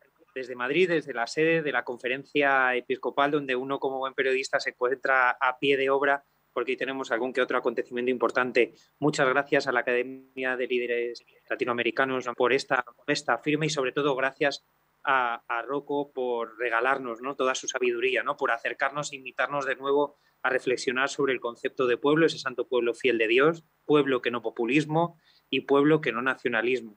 Y desde ahí iba mi reflexión, desde esa experiencia que tiene él para abordar eh, lo concreto desde lo abstracto, para analizar desde esa arena política que él, que él toca y que él ha tocado desde toda su experiencia ¿no? en todos estos años. Eh, no sé, la pregunta es, eh, ¿por qué tendría que leer un político latinoamericano hoy o un político de cualquier parte del mundo este libro? Y si se atreve, y esta es la pregunta de colmillo retorcido que siempre solemos tener los periodistas, ¿a qué líder internacional le recomendaría o le entregaría hoy en mano el libro si pudiera. Muchísimas gracias y enhorabuena de nuevo y gracias, Rocco, por ese regalo que nos haces a través de este manual. Muchísimas gracias, José, y nuevamente gracias por tu apoyo. Vamos ahora hasta San José de Costa Rica con don Miguel Ángel Rodríguez. Él es expresidente de Costa Rica y exsecretario general de la Organización de Estados Americanos. Don Miguel Ángel.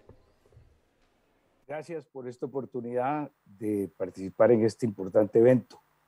Y gracias a don Rocco por ayudarnos a comprender la difícil hora que vivimos. Él reúne la acción política con el ejercicio de la filosofía y nos puede entonces permitir a muchos tener acceso a, un conocimiento que no tenemos. El Papa en la introducción dice, la inteligencia no culmina su itinerario al alcanzar la verdad en el juicio, sino más bien lo hace cuando la persona toda se compromete a entregarse como don a los demás. Es de las ideas a la acción, es la vida plena y don señor Butiglione nos, nos enfrenta entonces a esta, eh, eh, a este, esta filosofía, a esta teología que parte de, de los pobres, que parte del pueblo. Y ese pueblo eh, se siente separado, se siente ultrajado, se siente que está viviendo una, una dificultad muy grande y le cuesta comunicarse con el resto de la sociedad, de los grupos que trabajan de una visión más intelectualizada. ¿Cómo lograr esa, esa unión? ¿Cómo lograr resolver este tema?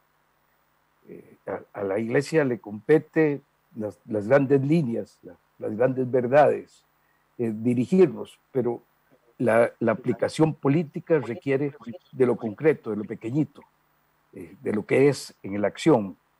¿Cómo resolver esto frente a las dificultades de un conocimiento que siempre es incompleto, en que siempre vivimos en ignorancia, para poder encontrar el acuerdo, el entendimiento, el encuentro entre, entre los grupos de la sociedad. Muchísimas gracias, don Miguel Ángel. Y vamos con dos preguntas en sala. En primer lugar, le doy la palabra a Francisco Vargas, director del Instituto de Ciencias Religiosas de esta universidad. Profesor Butiglione, muchas gracias por este libro que le regala a la Iglesia en su conjunto y también a toda la sociedad. Bienvenido nuevamente a esta nuestra casa.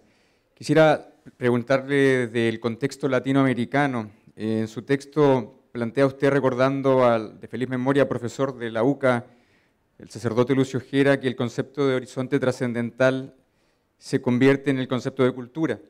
Y el profesor Geria decía que había tres grandes clases en la Argentina y también podríamos reconocerla en Latinoamérica en su conjunto, una clase alta, una clase que es cercana a la jerarquía de la iglesia y una clase que sería el pueblo. Y estas clases no se encuentran. Las élites se distancian del pueblo y traen consigo el germen del capitalismo.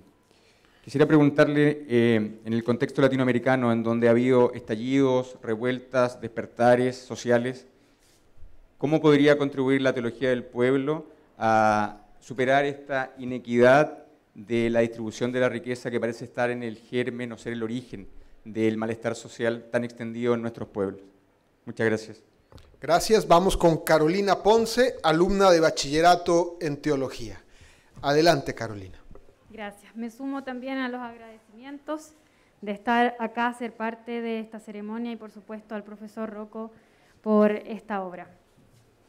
Bueno, quizás lo más característico de Latinoamérica es nuestra identidad cultural y religiosa, que está marcada ciertamente por la historia que nos ha tocado vivir como pueblo.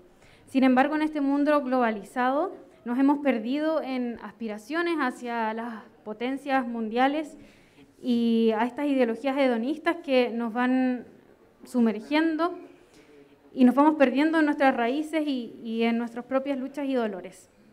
Frente a esto entonces nos volvemos esclavos también del poder y así la economía no está al servicio de los hombres, sino nosotros estamos al servicio de la economía. En este contexto me gustaría preguntarle cuál cree usted que son los principales desafíos de la teología del pueblo en nuestra realidad latinoamericana. Gracias.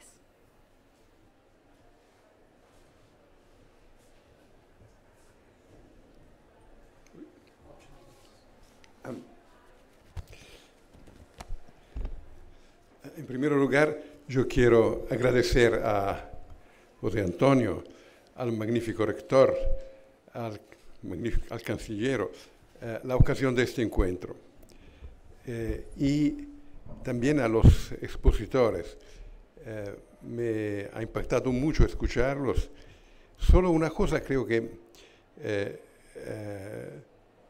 estaba un poco equivocada. la hermana Liliana siempre decía, Rocco dice, Rocco dice, sí es cierto, el libro es mío, pero el libro nació de una grande amistad. Cuando yo era joven, mi mentor, don Luigi Giussani, me decía que mi trabajo era lo de escuchar y formular de manera crítica y rigurosa una experiencia. El libro nace de una experiencia de iglesia, nace del haber escuchado la experiencia de la iglesia, de mis amigos, en el grupos que, que hemos compartido, en la Academia, de, la Academia Internacional de Líderes Católicos y antes con eh, Lucio Gera, eh, Alberto Metol eh, y todos los otros que son citados en el libro. Haber escuchado en la tentativa de dejar que la Iglesia me conteste. Yo me recuerdo el tema de la contestación en Europa. ¿no? Todos querían contestar a la Iglesia. Hoy todos, muchos quieren contestar a la Iglesia. Y es justo. Más justo, pero es dejar que la Iglesia me conteste a mí y aceptar de convertirme bajo la indicación que me da la Iglesia. Y es por eso escuchar al Papa, seguir al Papa, eh, eh, fue en mi vida una cosa fundamental. Eh, el libro nace del seguimiento de la vida de la Iglesia, del Papa y de las personas que el Señor ha puesto en mi camino. sobre las preguntas, la primera, ¿a quién dar este libro? ¿Y por qué un político tiene que leer este libro? Em, no sé. No sé por qué un político tiene que leer este libro. Porque no he escrito el libro pensando en los políticos. Muchas veces nosotros pensamos eh, que em, ah, necesitamos eh, un político genial que eh, un nuevo de Gasperi no sé si De Gasperi lo conocen bien aquí, pero fue un grandísimo líder europeo, ¿no? pero yo no creo que es así. Necesitamos un pueblo. El mensaje de Papa Francisco es un mensaje sumamente político. No es verdad que no es político, pero no es la política del partido, es la política del pueblo. El problema es construir a un pueblo. ¿Y cuál es el sujeto que construye a un pueblo? El sujeto que construye a un pueblo es son eh, los discípulos misioneros, hombres que tienen una personalidad comunional y viven eh, creando lazos, comunidad, activando procesos. Carolina, yo escribí este libro pensando a ti, no te conocía, pero pensando a ti, a mis nietas, eh, a mis nietos, a una generación nueva. Porque si no tenemos una generación nueva que construye comunidad humana y cristiana, no tendremos una nueva política. No será un politólogo genial, no será un grande político a salvarnos. Los grandes políticos de Gasperi, soy italiano, cito de Gasperi, nacieron de un pueblo, de una enorme actividad pastoral, excelencia, cultural, que ha construido pueblo. Fueron la expresión de un pueblo nuevo. Así el tema es, eh, tenemos la capacidad de comunicar una cultura, de suscitar un pueblo nuevo. Tiene la evangelización hoy la capacidad de suscitar un pueblo nuevo, que va a producir también políticos nuevos. Eh, necesitamos tiempo. Eh, sí, no es el tiempo de pensar a, recoger, es tiempo de sembrar y de sembrar bien. Y el tiempo de la cosecha vendrá, vendrá cuando Dios quiere. La primera cosa es hoy, eh, yo entiendo los problemas de los políticos que quieren tener recetas que se pueden aplicar de aquí a las próximas elecciones, pero yo no las conozco estas recetas y no sé si existen. Eh, don Miguel Ángel, eh, ¿cómo, se pasa de la conciencia del pueblo a la del proyecto. Nuevamente, aquí creo que necesitamos una grande acción educativa. Eh, una grande acción educativa para crear un, eh, un pueblo. Y el método es el diálogo. ¿Cuál es la primera cosa que podemos hacer en lo político, en lo que es directamente político? No creo que tenemos recetas. Creo pero que eh, vivimos un tiempo en que la política no existe más como prudente solicitud para el bien común. La política no existe. La política es una lucha para matar al enemigo. Y no se puede hacer política así. A tomar a serio lo que dicen muchos políticos, tendríamos mañana que iniciar una guerra civil. Y la teología del pueblo nos dice que somos pueblo. Mi oponente político es pueblo él también. Por supuesto yo tengo razón y él no la tiene. Estoy convencido de tener razón. Pero tiene razones para estar equivocado y está equivocado. Debe tener buenas razones para estar equivocado. Yo tengo que entender estas razones. Tengo que incorporar en mi actuación política las razones positivas que él tiene. Tengo que proponer una síntesis nacional en que él también puede vivir. Puede ser que no sea muy cómodo, pero debe poder vivir. Eh, eso es el diálogo.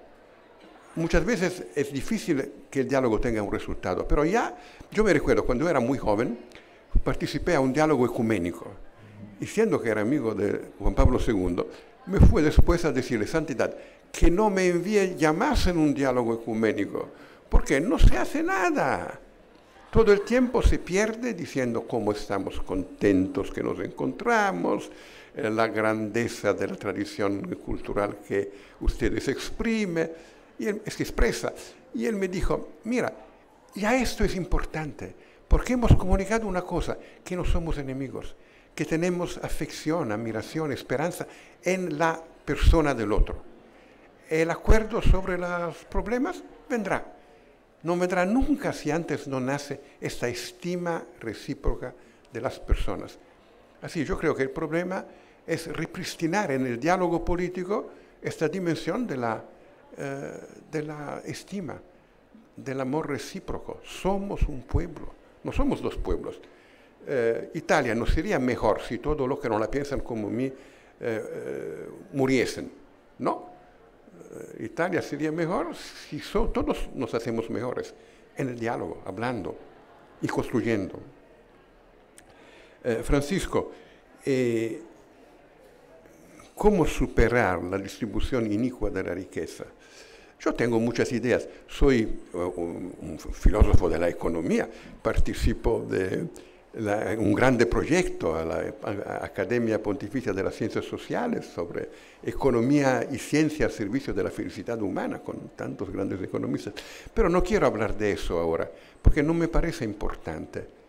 El problema no es individuar eh, el qué hacer. Ya lo sabemos, en buena medida sabemos qué hacer, aunque no puedo explicarlo ahora. El problema primero es cómo ser, es engendrar, generar el sujeto del cambio. Los viejos se recuerdan de los marxistas, ¿no? El tema de los marxistas siempre era, ¿dónde está el sujeto revolucionario? Y pensaban que el proletariado era el sujeto revolucionario. Se equivocaron porque el proletariado no era el sujeto revolucionario y además el proletariado casi no existe más porque en el mundo de hoy la centralidad de la clase obrera se ha perdido. El problema nuestro es, ¿dónde está el sujeto revolucionario? Eh, Papa Francisco nos dice, el sujeto, el sujeto revolucionario es el pueblo, es el pueblo que se va constituyendo a través de los discípulos misioneros la comunidad cristiana que es factor de construcción de identidad de pueblo. Lo que falta es el sujeto. Las ideas las tenemos. En otra ocasión podemos hablar de esas. Un poco en el libro se habla de eso, hay un capítulo sobre eso. Pero el tema fundamental es la construcción del sujeto. Y la última fue Carolina.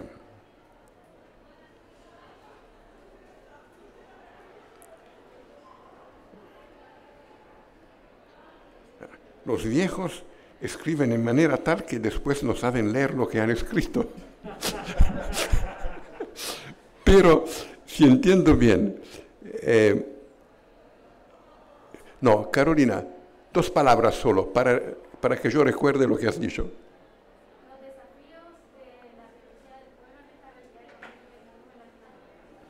Los desafíos. El primer desafío es em, tener el coraje de ser, de enamorarse, de enamorarse de esta América Latina, vivir un amor grande a las raíces propias. Lo que más me preocupa en Latinoamérica es que tantos jóvenes parece que quieren ser norteamericanos o europeos. Tantos intelectuales parece que se encuentran mejor en París o en Londres o en Nueva York que, en Santiago o en Valparaíso o eh, en Cochabamba. Y no, no se puede dialogar con otros, no se puede ser realmente internacionales si uno no tiene intenso amor a su raíz nacional. tenéis que estudiar vuestra historia para construir respuestas concretas, chilenas, en un proyecto nacional chileno. Yo soy también un poco alemán, de alguna manera, he pasado muchos años dando clase en Alemania y conozco bastante bien eh, la economía social de mercado, que es el proyecto nacional alemán. ¿no? Nació de gente que estudió la doctrina social cristiana, pero estudió Alemania, que conocía a menudo los vicios de los alemanes y las virtudes de los alemanes. Y construyó un proyecto que daba eh, la, posibilidad de eh, hacer crecer las virtudes y minimizar los vicios. Y eso hay que hacer. Hay que iniciar con un amor concreto a, a la tierra propia. El desafío más grande es vivir en un grande amor para Chile y para Latinoamérica.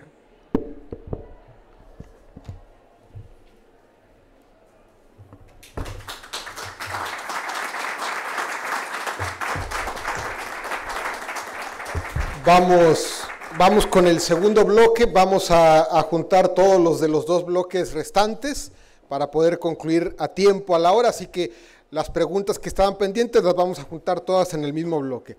Le damos la palabra hasta Colombia a Clara Eugenia López Obregón. Ella es ex candidata presidencial, senadora electa de Colombia, ex ministra y ex alcalde mayor de Bogotá. Adelante, Clara.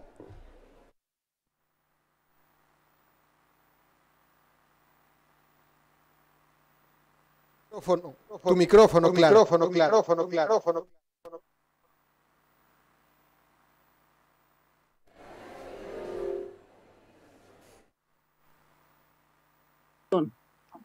Me disculpan. Muchas gracias. Estaba agradeciendo este valiosísimo espacio de escuchar a todos los comentarios del libro de Rocco que ya empecé, pero no he podido terminar.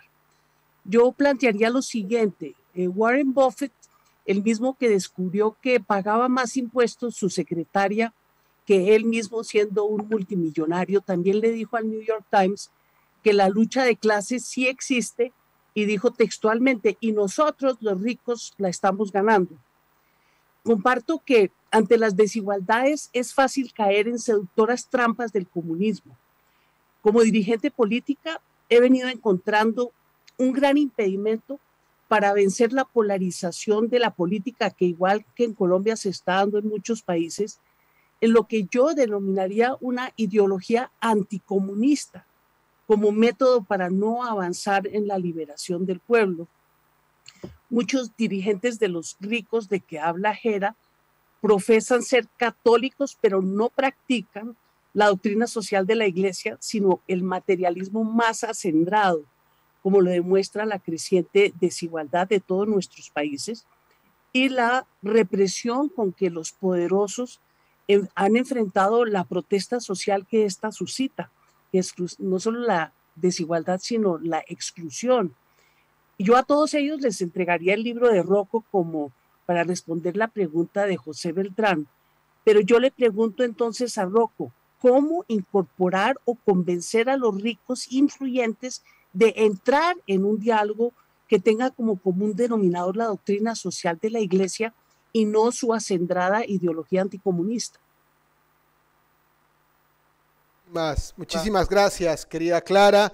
Vamos ahora con Alejandra Segura, de los Estados Unidos. Alejandra es presidenta de Crecer Foundation. Adelante, Alejandra. Muy buenas tardes, muchísimas gracias Rocco por una jornada llena de luz en la que nos preparamos para incursionar, como dice el Papa Francisco, a escuchar, discernir y para tomar acción. Como miembro de, eh, también de la eh, Red Internacional de Mujeres Líderes Católicas, quisiera hacer una pregunta eh, hacia la, este, eh, este, este, tema de las mujeres. Y em, sabemos que mujeres y niños comportan un sector importante de este pueblo latinoamericano sufriente. Mujeres y niños son entre los más afectados por los vaivenes de políticas económicas, de vivir en pobreza. Y las mujeres en este contexto nos muestran su extraordinaria capacidad de resiliencia y de fe. Las mujeres son líderes desde su propia conformación como mujer. Desde el primer momento que una mujer da luz a un hijo, la mujer lidera, aunque en la mayoría de los casos no se dé cuenta de ello. Pero también son las mujeres las que son objeto de la apropiación de estas ideologías que hemos estado hablando. Y aquí viene mi pregunta. Siendo conscientes de esta situación, ¿cuál es la dimensión del rol de la mujer en esta teología del pueblo que le permita de esa liberación ante injustas opresiones eh, de toda índole. Falta algo, qué profundizar, qué caminos tomar, qué directivas. Y si hubiera tiempo para una segunda preguntita, em, dada mi residencia argentina de nacimiento, pero residente en Estados Unidos desde hace 37 años, em, ¿qué se puede esperar de esta inmigración tremenda de latinoamericanos católicos, muchos de ellos bautizados, pero luego muchos de ellos también convertidos al protestantismo en Estados Unidos, en este, en este incursionar en la realidad de Estados Unidos en la que se enfrentan con un mundo eh, eh, altamente desarrollado. Tenemos qué tipo de esperanza podemos tener en esta renovación que andamos buscando. Muchas gracias. Muchísimas gracias, querida Alejandra. Vamos ahora hasta Argentina con Monseñor José María Rossi, sacerdote de la Orden de Predicadores y obispo emérito de Concepción, Argentina. Adelante, Monseñor. Buenos días, buenas tardes. Espero que se escuche bien, porque es la primera vez que utilizo este micrófono. Si no me avisan. Yo quisiera eh, agradecer y felicitar al profesor Butriglione y lo voy a hacer subrayando cosas que ya se han dicho, pero me parece importante, eh, como digo, subrayarlas un poco. Primero sobre la presentación que hace el Papa Francisco del libro. La verdad es que este, creo que para el Papa la presentación de un libro es un honor este, que se lo merece. Y además es una valoración. Eh, ¿Por qué digo que es una valoración del libro que hace el Papa? Porque se ve que le tocó el corazón la introducción, la presentación del Papa Francisco es, no, no, es una cosa formal, sino que es un verdadero tratado este, teológico, de teología del pueblo. Eh, verdaderamente el libro lo ha impactado al Papa y por eso se ha puesto a escribir esa presentación. Y después quiero también subrayar el coraje del profesor Utiglioni de intentar leer América Latina desde Europa y hacerlo intentando situarse en nuestra cultura y en nuestra religiosidad. Es un gesto importante del pensador porque creo que es un paso eh, importante en la globalización del pensamiento latinoamericano, cosa que ya señalaba la hermana de Emiliana hace un rato. De manera que quiero de nuevo agradecer y felicitar al profesor Villone por esta obra. Muchísimas gracias, Monseñor José María. Y vamos ahora hasta Ecuador con Daniel Ortega, exministro de Medio Ambiente del Gobierno de Ecuador. Adelante, Daniel. Muchísimas gracias y un placer saludarlos a todos en esta ocasión tan particular. Mi intervención anhela motivar este diálogo a profundizar la teología del pueblo desde las nociones de cultura y trascendencia que esta obra que el profesor Rocco Buttiglione nos comparte. En particular, enriquecido por su siento un eco, perdón, en particular, enriquecido por su servicio en diplomacia, gustaría que exploremos las visiones del profesor eh, Butiglioni con respecto a contrastes intergeneracionales y las posibilidades de inculturizar desde la ecología integral de Francisco frente a retos climáticos y de sostenibilidad, con énfasis en la juventud como sujeto liberante del pueblo. Sobre este objeto, desde Latinoamérica y a nivel global podemos considerar proposiciones contradictorias, como bien nos dice el profesor en su libro, que permiten reafirmar en el diálogo, en el encuentro, una herramienta clave para construir una unidad interclasista e intergeneracional dentro de las naciones. Considero dos momentos para la consideración del profesor Butiglioni sobre esta visión. Primero, condición suficiente y necesaria para viabilizar la acción colectiva que nos demanda el reto climático y la transición socioecológica a nivel global, sin perjuicio de los vientos de guerra. Y segundo, la base fundamental para accionar y legitimar una gobernanza global efectiva que habilite un entorno que permita la consolidación democrática a través de resolución de conflictos socioambientales y justicia. Ante esto, nada más agradecerle, profesor, por sus reflexiones que nos motivan, nos inspiran a seguir eh, territorializando este debate y sus culturas. Gracias, Daniel. Vamos con las preguntas aquí en sala para ya escuchar el cierre del profesor y las respuestas del profesor Butiglione. Tiene la palabra Loreto Moya, secretaria académica de la Facultad de Teología. ¿Se escucha? Sí, ahí sí. Eh, agradecer, me sumo a todos los agradecimientos, eh, la presencia del profesor, su libro.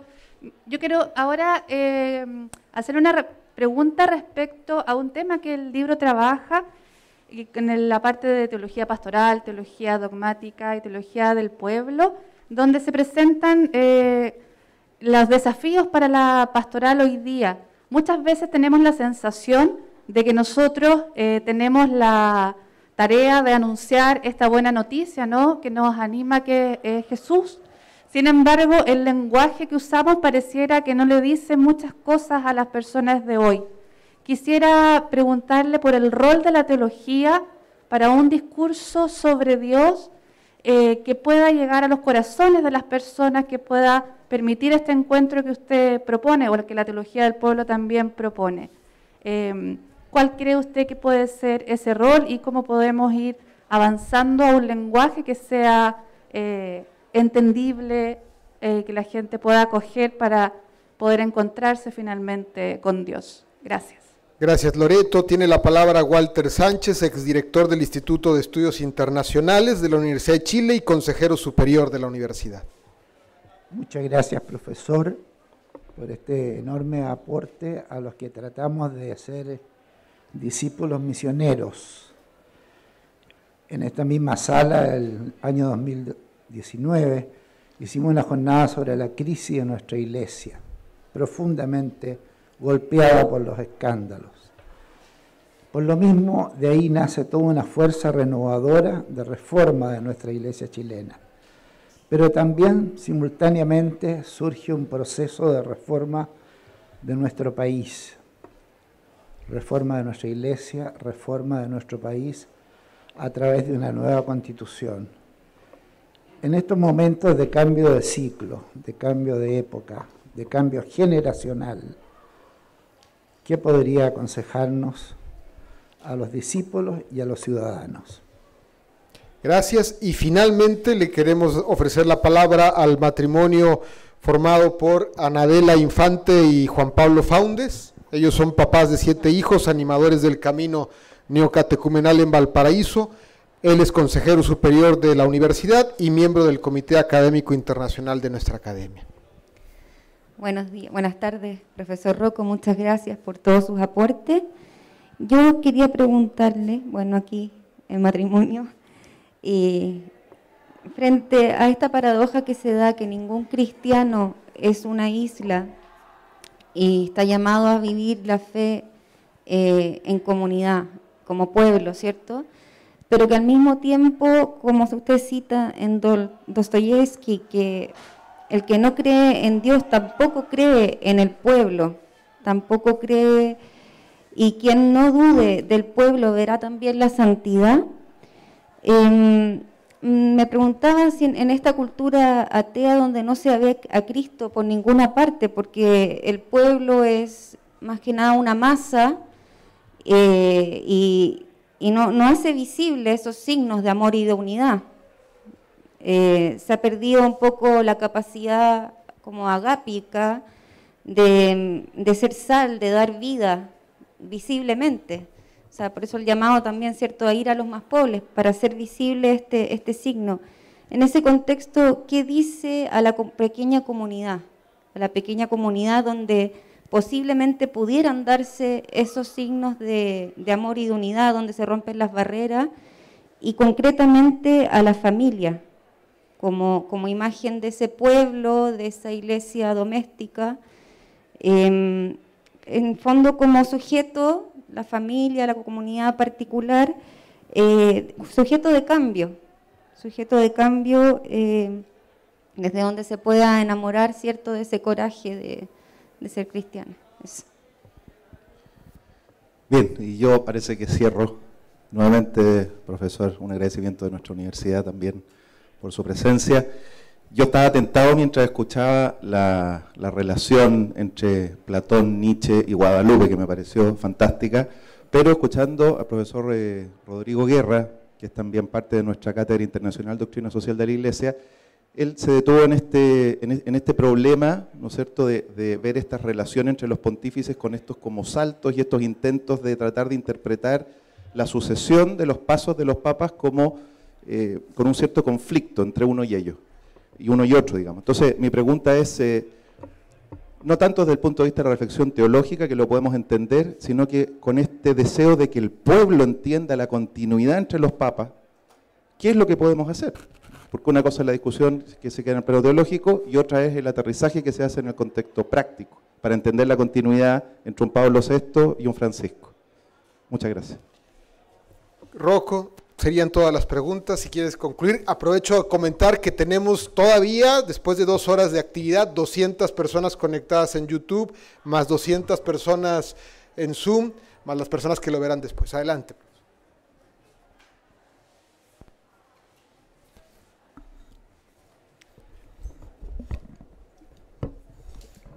Clara, ah, déjame decir algunas palabras sobre Clara, que es un tipo extraordinario, porque Clara hizo por sí misma todo lo, que yo he escrito en, mi libro.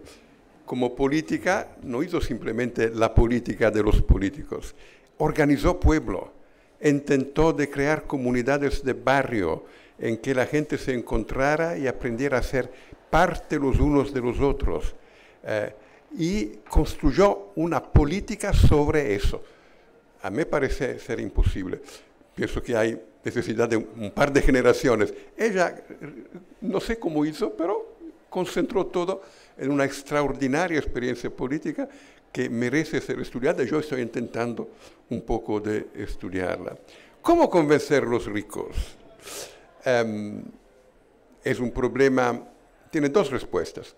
Una es una respuesta muy sencilla, muy práctica, que dio mi amiga Clara Lubitsch Clara Lubitsch creó un movimiento. En este movimiento estaban eh, gente que era también rica, empresarios. Y, estos empresarios se pusieron la cuestión, ¿qué significa ser empresario y ser católico? ¿Cómo gestiono mi empresa siendo eh, creyente en Cristo?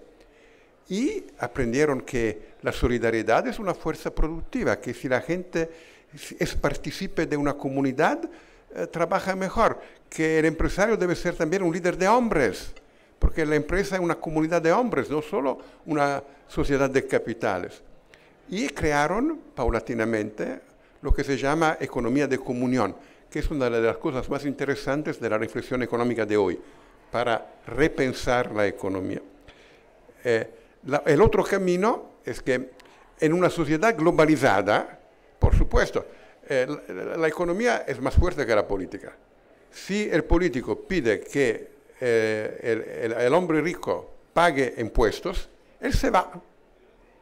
Y se va en otro lugar y mi país pierde puestos de trabajo y, riqueza.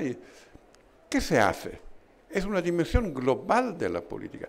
Nosotros hemos intentado en la Pontificia Academia de las Ciencias Sociales hacer una cosa que después también otros la repitieron, ha ganado fuerza, y ahora el G20 eh, la adoptó. Esperamos ver que se haga realmente. Un nivel mínimo de impuestos sobre los ingresos de la empresa, igual en todos los países del mundo. Así que los ricos no pueden irse, porque aún si se van, van a encontrar gastos de deslocalización y además van igualmente a pagar al menos un poco de impuestos en cualquier país. Eh, si eso se hace, eh, será interesante. Necesitamos una dimensión global. El capital se ha globalizado, hay que globalizar la defensa del trabajo. Eh, hemos tenido el General Agreement on Tariffs and Trade, necesitamos un General Agreement on Wages and Labor, un acuerdo general sobre salarios y condiciones de salario. Y por eso hay que crear un grande movimiento. Eh, si uno inicia creando movimiento, hay que los movimientos tengan la dimensión latinoamericana y mundial contemporáneamente. Porque eh, una cosa muy difícil es que la gente pague los impuestos. Pero en Alemania, con gobiernos considerados de centro derecha, como son poco significativas estas indicaciones, centro-derecha, centro-izquierda, derecha-izquierda. En Alemania, con el centro-derecha, hay el 38% de impuestos. Y con el 38% de impuestos se pueden hacer grandes políticas de solidaridad. En Chile hay el 21%. Con el 21% se puede hacer bastante poco. Eh, así, eh, me paro aquí porque sería un tema infinito. Alejandra, Alejandra siempre eh, eh, plantea eh, preguntas difíciles porque ella está más adelantada. El tema de las mujeres es el tema, el tema de las mujeres, por un lado, y el tema de Estados Unidos, son temas de dos libros que yo espero escribir en el futuro. Sobre las mujeres, pensamos en la Virgen de Guadalupe, ¿no? Eh, la Virgen de Guadalupe es, eh, en un cierto sentido, también el arquetipo de la maternidad. Eh, la mujer es un ser humano que tiene un útero y tiene la posibilidad de vivir la experiencia extraordinaria del embarazo y de la maternidad que nosotros no podemos tener. Juan Pablo II decía, la persona es un ser, en un cierto sentido, vacío que puede acoger en sí mismo a otro ser humano para engendrarlo en la vida eterna. La mujer tiene la experiencia extraordinaria que esa no es solo una experiencia espiritual, es una experiencia carnal y es la matriz de todas las culturas. En la relación con la madre aprendemos a ser no solo yo, sino nosotros. Somos nosotros antes de ser yo. Me identifico después frente a la madre porque al inicio yo soy totalmente en la madre y con la madre. Aprender a vivir esta riqueza extraordinaria es la matriz de toda la cultura. Toda la cultura es una reflexión sobre este acontecimiento originario de mi nacimiento en la relación con la madre y después con el padre. Porque el padre, desafortunadamente para nosotros, llega después. Al inicio el padre es un caballero que se mueve acerca de la madre. La madre es el mundo del niño. Hay que reflexionar sobre eso para entender que si se pierde el sentido de la feminidad, muere la cultura. Y Estados Unidos y los latinoamericanos. Yo creo que en Estados Unidos hoy hay un, hay un grande problema político. Hay los republicanos que, intentan defender una identidad eh, de Estados Unidos que es vieja. Y hay los demócratas que no no ven una identidad de Estados Unidos y defienden la disolución de la identidad de Estados Unidos. Estados Unidos necesitan a alguien como fue Franklin Delano Roosevelt.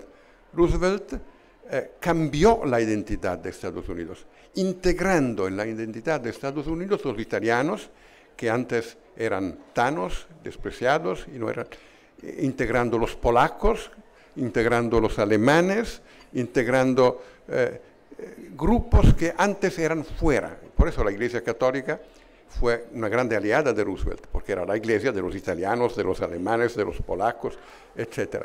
Se necesita alguien que haga la misma grande operación cultural y política con los latinos, porque la identidad futura de Estados Unidos eh, depende de la capacidad de integrar los latinos. Y la iglesia tiene un papel fundamental para eso. Em,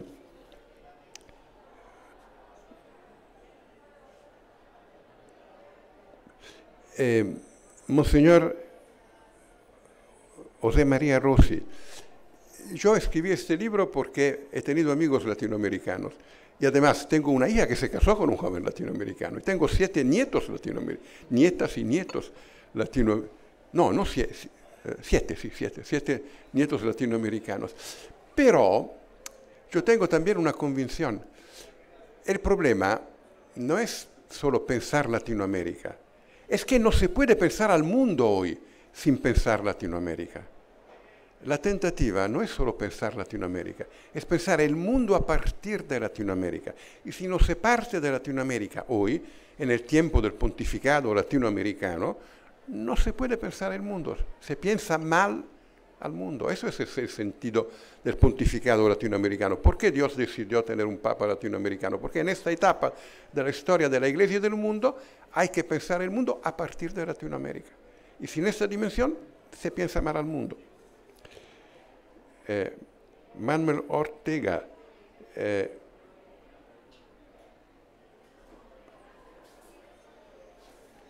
me parece que eso se puede juntar con He perdido los apuntes. ¿Cómo? ¿El? Ah, sí, el problema intergeneracional. No, eso lo, recordaba, estaba buscando otra pregunta que, era muy, muy semejante. Eh, Loreto, ¿no? ¿Cómo llegar al pueblo y cómo, cómo vivir este problema intergeneracional? No sé, pero, excelencia, hubo un tiempo cuando la gente venía a la iglesia, a la parroquia. Los jóvenes no vienen a la iglesia, a la parroquia. En mi generación, yo no, no, no iba a la iglesia, a la parroquia. Yo soy católico porque hubo gente que vino donde estaba yo, que en Roma significa Piazza di España, Trinidad dei Monti, no sé qué significa Valparaíso, imagino la playa o no sé. Eh, y yo encontré gente que vivía una vida tan humana que yo quería ser como ellos y quería ser amigo de ellos. Quería entrar en la comunidad que ellos eran. Ellos me dijeron que la raíz de esta humanidad más grande, más fuerte, más bella, era el hecho que rezaban juntos. Yo inicié a rezar con ellos. No entendí por qué. Puede ser que lo entendí mucho tiempo después, puede ser que aún no lo entendí pero sigo rezando con ellos. Así, el tema creo que es este, una pastoral que está hecha por jóvenes, no hay autoridad más grande para un jovencito de 16 años que un jovencito de 17 años. Así, hay que movilizar la capacidad misionera de los jóvenes a través de una experiencia de vida. Después se categoriza, después se hace una teología. Primero vino San Francisco, Después de San Francisco, después de eh, más o menos un siglo, vino San Bonaventura, que hizo la teología de San Francisco.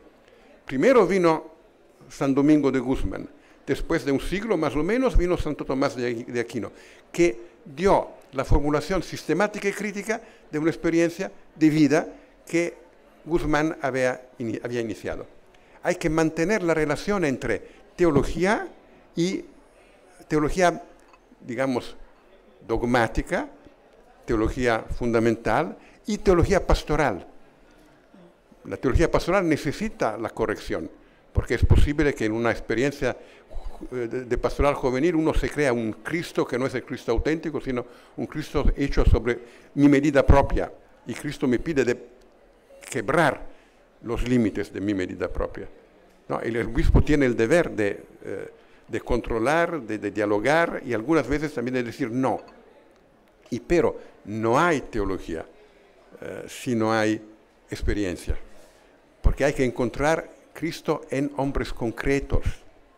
Y después se puede hacer la teología como reflexión sistemática y crítica sobre una experiencia viva. Si no hay la experiencia, no hay la teología.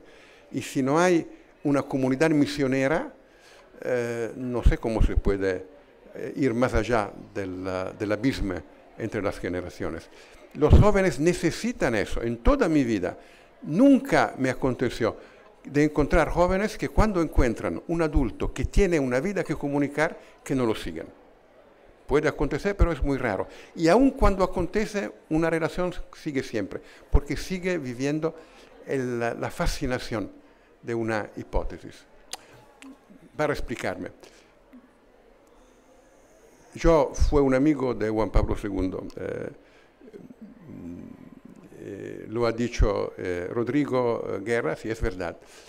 he vivido con él, he comido con él, he trabajado con él, pero cuando él viene en mis sueños, cuando él torna en mis sueños, lo que yo recuerdo es la primera vez que yo lo vi. Me dio un minuto. había tanta gente, pudo estar conmigo un minuto. En ese minuto yo he sentido una, una impresión clara. Este es un hombre que daría la vida por mí, si fuese necesario. Y cuando encuentras un hombre así, y no es tu padre, mi padre había dado su vida para mí, y mi madre también. Y no es tu padre, no es tu madre, tampoco es tu hermana o tu hermano. Al menos la duda que este amor debe tener una raíz sobrenatural, esta duda debes tenerla y te sigue hasta el último día de tu vida. Eh, como dice Papa Francisco, el ya, lo había dicho Santo Pablo VI, en verdad, el testimonio es el inicio. El cristianismo es una doctrina que nace de una experiencia. Si no hay experiencia, no hay doctrina. O si hay doctrina sin experiencia, es peligrosa. Walter eh, Bueno, creo que es un poco lo, que ya hemos dicho. Em, la señora de Juan Pablo, que no sé cómo se llama. Ana. Ana. Em, creo que el tema, y eso también tiene que ver con el cambio generacional, es el tema de la libertad. Eh, los jóvenes aman la libertad. Em, y el problema es explicarle qué es la libertad. Porque la libertad no es hacer lo que da la gana. Ser libre es vivir un grande amor. El que uno que no encontró en su vida un grande amor no es libre, es solo.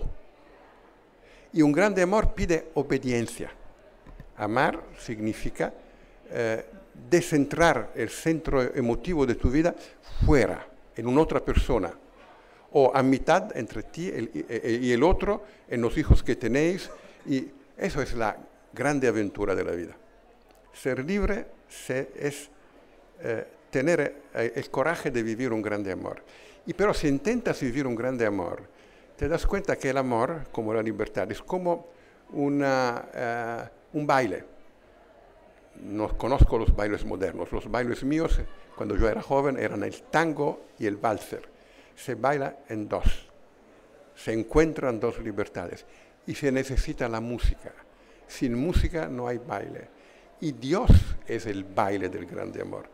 En la música de Dios es posible vivir un grande amor.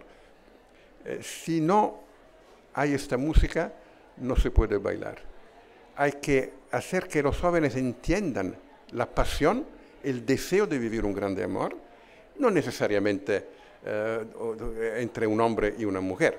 Eh, puedes tener un grande amor para, eh, para una vocación religiosa, para la literatura, para, cualquier cosa. ¿no? Hay tan, vivir la vida como la ocasión de un grande amor. Y en este grande amor se descubre a Dios como la realidad de este amor, el sentido más profundo, la fuerza fundamental de este amor. Última cosa, la continuidad de los pontífices. Es una cosa, bueno, yo he tenido la suerte de conocer a ambos y me parece una cosa de una evidencia absoluta. vivimos tiempos diferentes de la historia. No sé cuántos de ustedes han leído la obra de Santo Agustín. Santo Agustín es un pastor, es un teólogo, pero es un pastor. Es muy diferente de Santo Tomás. Si preguntas a Santo Tomás una cosa, Santo Tomás estudia toda la literatura, da todas las opiniones en favor, todas las, opiniones, las opiniones en contra y al final da la definición teórica del problema. Santo Agustino no es así. Tiene problemas concretos.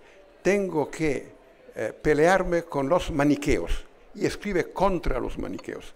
Si uno sigue todo lo que Santo Agustín ha dicho contra los maniqueos, termina herético. Y pero, ¿por qué Santo Agustino no es herético, sino es un grande doctor de la iglesia? Porque después de los maniqueos vinieron los pelagianos y se peleó con los pelagianos y si tú haces la media de todas las posiciones de Santo Agustín, encuentras a Santo Tomás. Eh, ¿Qué quiero decir? Juan Pablo II tenía el problema de una etapa histórica en que el adversario fundamental de la Iglesia era el comunismo.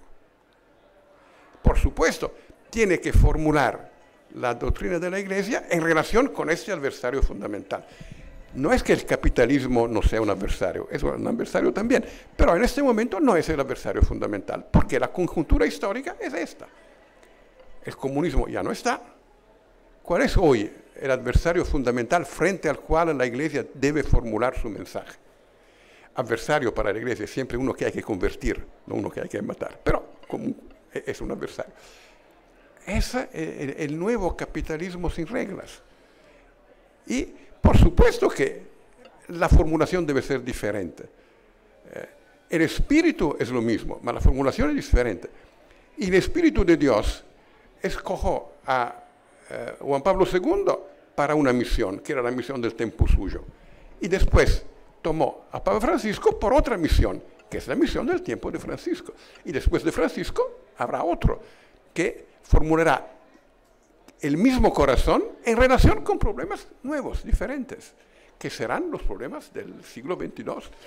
Eh, eh, el que no, porque muchos piensan la iglesia no como una experiencia de vida, un pueblo en camino en la historia, sino como una doctrina inalterable. La iglesia tiene también una doctrina que no, que no cambia, inalterable, pero la vive nuevamente en condiciones diferentes y en cada situación esta doctrina presenta respuestas diferentes. Los grandes clásicos, no sé si ustedes tienen esa experiencia, hay algunos libros que yo he leído muchas veces en mi vida y cada vez me dieron un mensaje diferente, porque los grandes clásicos tienen esta capacidad de dar respuestas diferentes cuando tú los interrogas con preguntas diferentes. Y la humanidad pregunta a la iglesia cosas diferentes de un tiempo al otro. En la iglesia da respuestas diferentes, pero siempre coherente con la experiencia fundamental, que es la presencia de Jesucristo entre nosotros y una presencia que crea un hombre nuevo, que no es un hombre aislado, un hombre por sí mismo, sino un hombre comunional, un hombre que no puede definir su bien sin considerar el bien de todos los que ama. Los que él ama tendencialmente es todo el mundo. Y eso es la personalidad comunional, el discípulo misionero. Eso es el elemento de la continuidad. Todo lo demás eh, depende de las situaciones, de las circunstancias, y hay que calibrarlo. Eh, excelencia, yo no creo que usted aquí en Valparaíso hoy dice las mismas cosas que decía antes en la diócesis precedente. ¿Por qué? Porque Valparaíso es diferente y plantea problemas diferentes y requiere eh, respuestas diferentes. Esa es la continuidad en el cambio continuo. ¿Qué es la vida? La vida es continuidad y cambio. Yo he tenido alguna pelea con algunos amigos, que eran también amigos de Juan Pablo II, eh, que me dijeron, ah, somos como viudas. No, no somos las viudas de Juan Pablo II, somos los hijos. Una viuda puede, si es anciana, ha vivido toda la vida, puede decir, mi vida terminó con mi marido. Un hijo no, porque tiene hijos, porque tiene que vivir la vida continuando la experiencia que ha recibido de su padre. Gracias. Gracias, Rocco. con, con, con esta exposición del profesor Butiglione terminamos, pero quiero agradecer y reconocer porque sigue conectado en, la actividad el cardenal Carlos Ayarretes, Rodrigo, la madre Liliana, todos los participantes, sin duda alguna que escuchar a los tres, a Clara López, a Miguel Ángel Rodríguez, ha sido como un curso de filosofía política y de sabiduría. Señor Cardenal Carlos Aguiar, ¿quiere dirigir, dar algún mensaje final? Simplemente agradecerle a, de corazón a Rocco su puesta en conocimiento de nosotros, de su experiencia, de su reflexión, hacernos ver desde dónde viene esa fuente de donde ha brotado este libro. Muchísimas gracias, Rocco, y gracias a todos ustedes, los que organizaron, los que promovieron y los que participamos en este momento tan especial que esperamos nos llene no solo de esperanza, sino de decisión de hacerlo nuestro, cada uno en su rincón, para armar esa comunión, esa espiritualidad que es la que puede generar esa nueva evangelización que anhela nuestros pueblos. Muchas gracias, don Carlos, como siempre una vez más acompañándonos permanentemente desde México hasta donde estamos en las actividades de la academia. Me han preguntado muchos, quieren comprar el libro en distintos países, lo pueden adquirir, ingresen a la página www.pucb.cl de la Universidad Católica de Valparaíso, ahí lo pueden adquirir. Dentro de las próximas semanas el libro también va a estar en formato digital, en ebook, y también les quiero contar que ya estamos en conversaciones con una editorial mexicana para que muy pronto, en las próximas semanas, vamos a tener la edición mexicana. Los dejamos invitados a nuestro próximo evento. La próxima semana presentaremos el libro Humo Blanco del ensayista mexicano Mauricio Sanders, una obra que analiza la naturaleza de la institución del papado, que será presentado por el cardenal Alberto Suárez Inda de Morelia, la ex candidata presidencial Margarita Zavala y el exministro de Estado chileno Carlos Ominami para participar www.liderescatólicos.net raya humo blanco y invitarlos también, próximos eventos que tenemos, Seminario Internacional Dilemas al Inicio de la Vida, el drama del aborto, un seminario preparado por el arzobispo de Arequipa, Monseñor Javier del Río, y los, los exministros de Salud de Perú, Hernán Garrido Leca, de México, José Ángel Córdoba, y la secretaria nacional de la familia de Brasil, Ángela Gandra. También a partir de junio, el segundo Seminario Internacional de Educación Católica, Compromisos para un Pacto Educativo Global, un seminario preparado por Monseñor Alberto Lorenzelli, obispo auxiliar de Santiago, y realizado, realizado, organizado por la UDUCAL, la Organización de Universidades Católicas de América Latina, y tres universidades más de Brasil, Costa Rica y Argentina. Y finalmente en julio volvemos a actividades presenciales a quienes nos siguen en Zoom y a los que están presentes. Tendremos nuestro séptimo Diplomado Internacional de Doctrina Social de la Iglesia, presencial en la ciudad de Washington, del 24 al 31 de julio. Es un diplomado de una semana y están todos convocados. Ese diplomado tra tratará los desafíos de América y de la Iglesia de América pospandemia.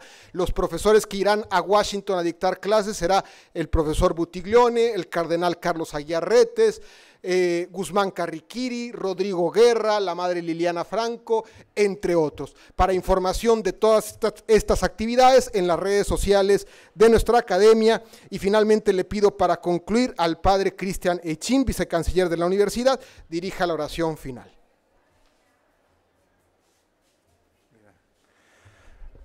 Le damos gracias a Dios nuestro Padre, quien nos ha hecho compartir este momento no solamente académico, sino también espiritual, una experiencia de fe, una experiencia de pueblo de Dios.